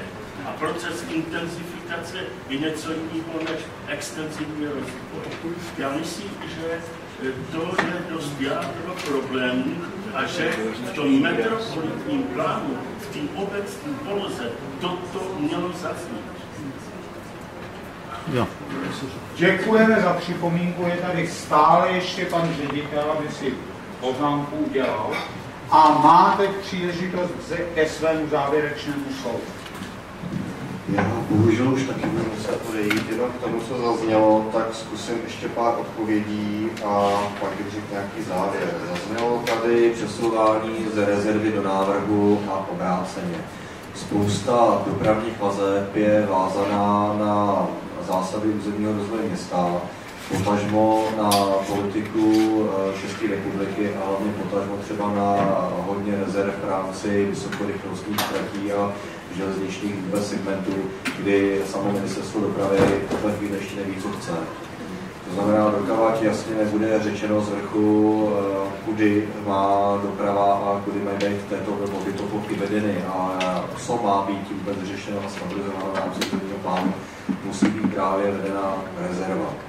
Z toho důvodu vlastně i ty připravená, jak mluvila před mnou paní náměstkyně zpráva o uplatňování zásad, kdy uh, hodně železničních letek koridoru bude právě přesouváno do rezervy a to hlavně z toho důvodu, že ministerstvo dopravy stále řeší nové a nové návrhy, ale nemá vybrané ty, který má být stabilizován.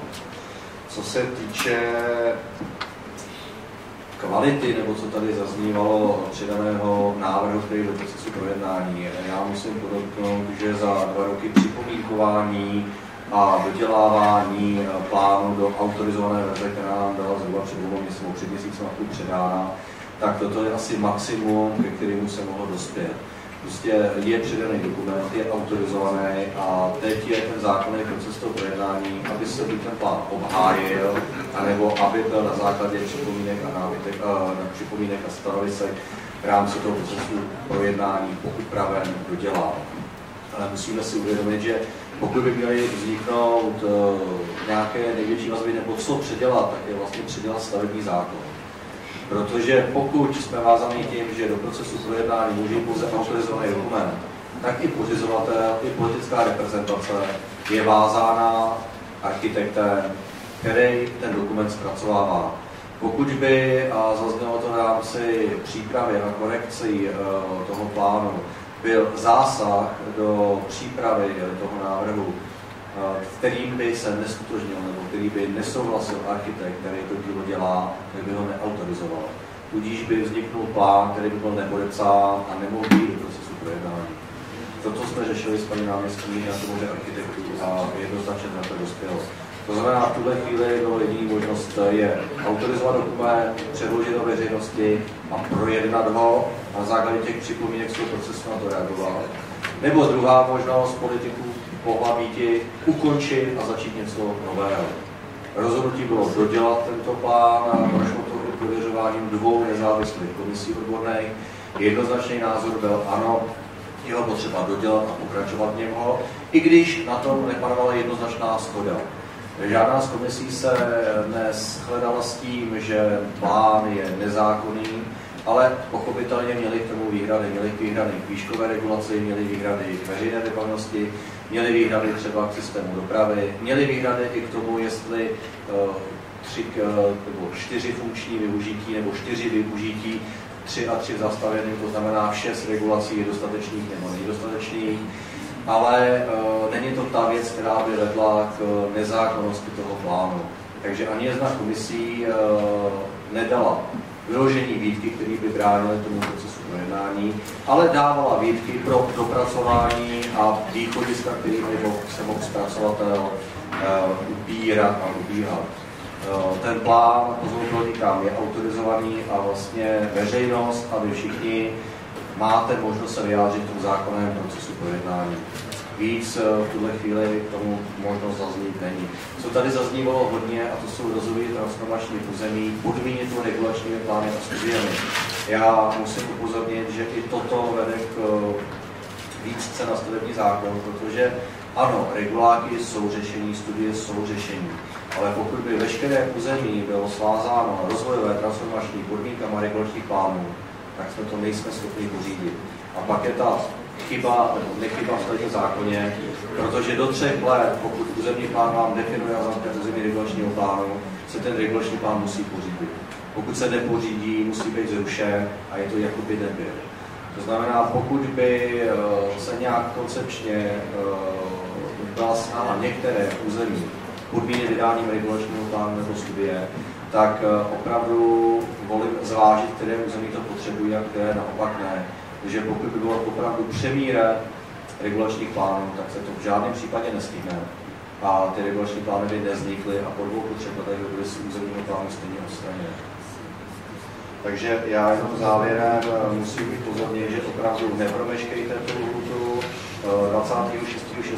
až 26.7. podávejte připomínky, podávejte je pořizovateli, to znamená na magistrátní podatelny, a můžu vám zaručit, že každá připomínka, každý závazný stanovisko, každý stanovisko ručený orgánu bude zákonně vypořádáno a bude ukončeno. Jestli doběhne do konce běhu, uvidíme až po volbách. Ale rozhodně žádná připomínka nebude schozena pod stůl a nebude zametena. Děkuji vám, pane řediteli, za vaše závěrečné slovo i za konkrétní odpovědění několika posledních otázek, které nám byly. Děkuji i za slovo může, že jako úředník v tom nejlepším slova smyslu děláte všechno, co se dobrý úředník udělat může a chápeme, že za politiky odpověden Děkujeme.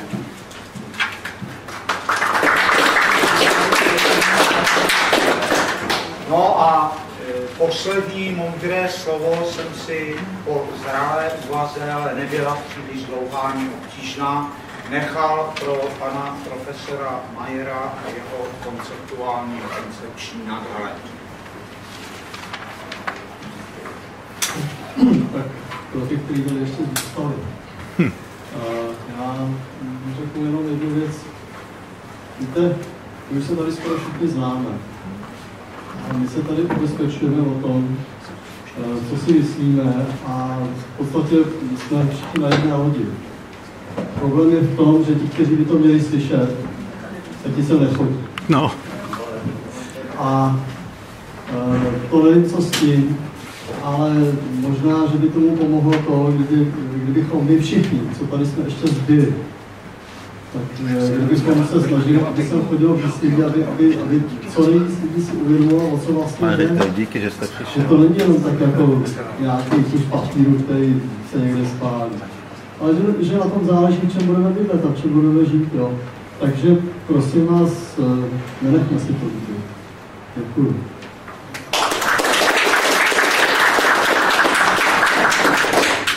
Za tohle závěrečné slovo velmi děkuji, protože nás moudře odneslo do toho zároveň obecný, zároveň prakticky proveditelný. No, to je, jenom je, je, tady to, jo. Všichni každý svůj kus práce. Já vím, že už spěcháte, ale nemohu nepoděkovat organizátorům, zosobněným teď panem architektem Gebetem, když nám pan kolega Musím poděkovat druhému velmi obětavému organizátorovi, kamarádovi Pavlovi Šremerovi, který opravdu i po nocích psal zápisy a schrnoval to, na čem jsme se dohodli, aby to bylo velice velmi obětavě. Děkuji. Můžu. Prosím vás, kdo jste přišli v průběhu, tak tady je určitá prezenčka, ale vzhledem k tomu, že je GDPR, tak je tady vsuvka, jo? tak podle toho se, se podívejte a buď si to podepište, nebo ne. Děkuju ještě jednou velmi a velmi všem panelistům, kteří byli ochotní tady trávit svůj čas. Věřím, že je to pro mě strpení, protože by mohli přednášet dlouhou dobu a tady se museli omezovat a to je opravdu trýzlivé. Děkuju autorům vše, dohadu tedy vám, jako velmi bystrému a znalému plénu. Po celou dobu jsem se výše styděl za své znalosti. Děkuji dobré duši paní architektce Kristýně, která mě obětavě, Kristýně Jirsové, tedy, která mě obětavě seděla v zády celou dobu a jistila mě, kdyby něco nevěděl. Takže jsem poděkoval. Nápověda, ne? Přeju vám pěkný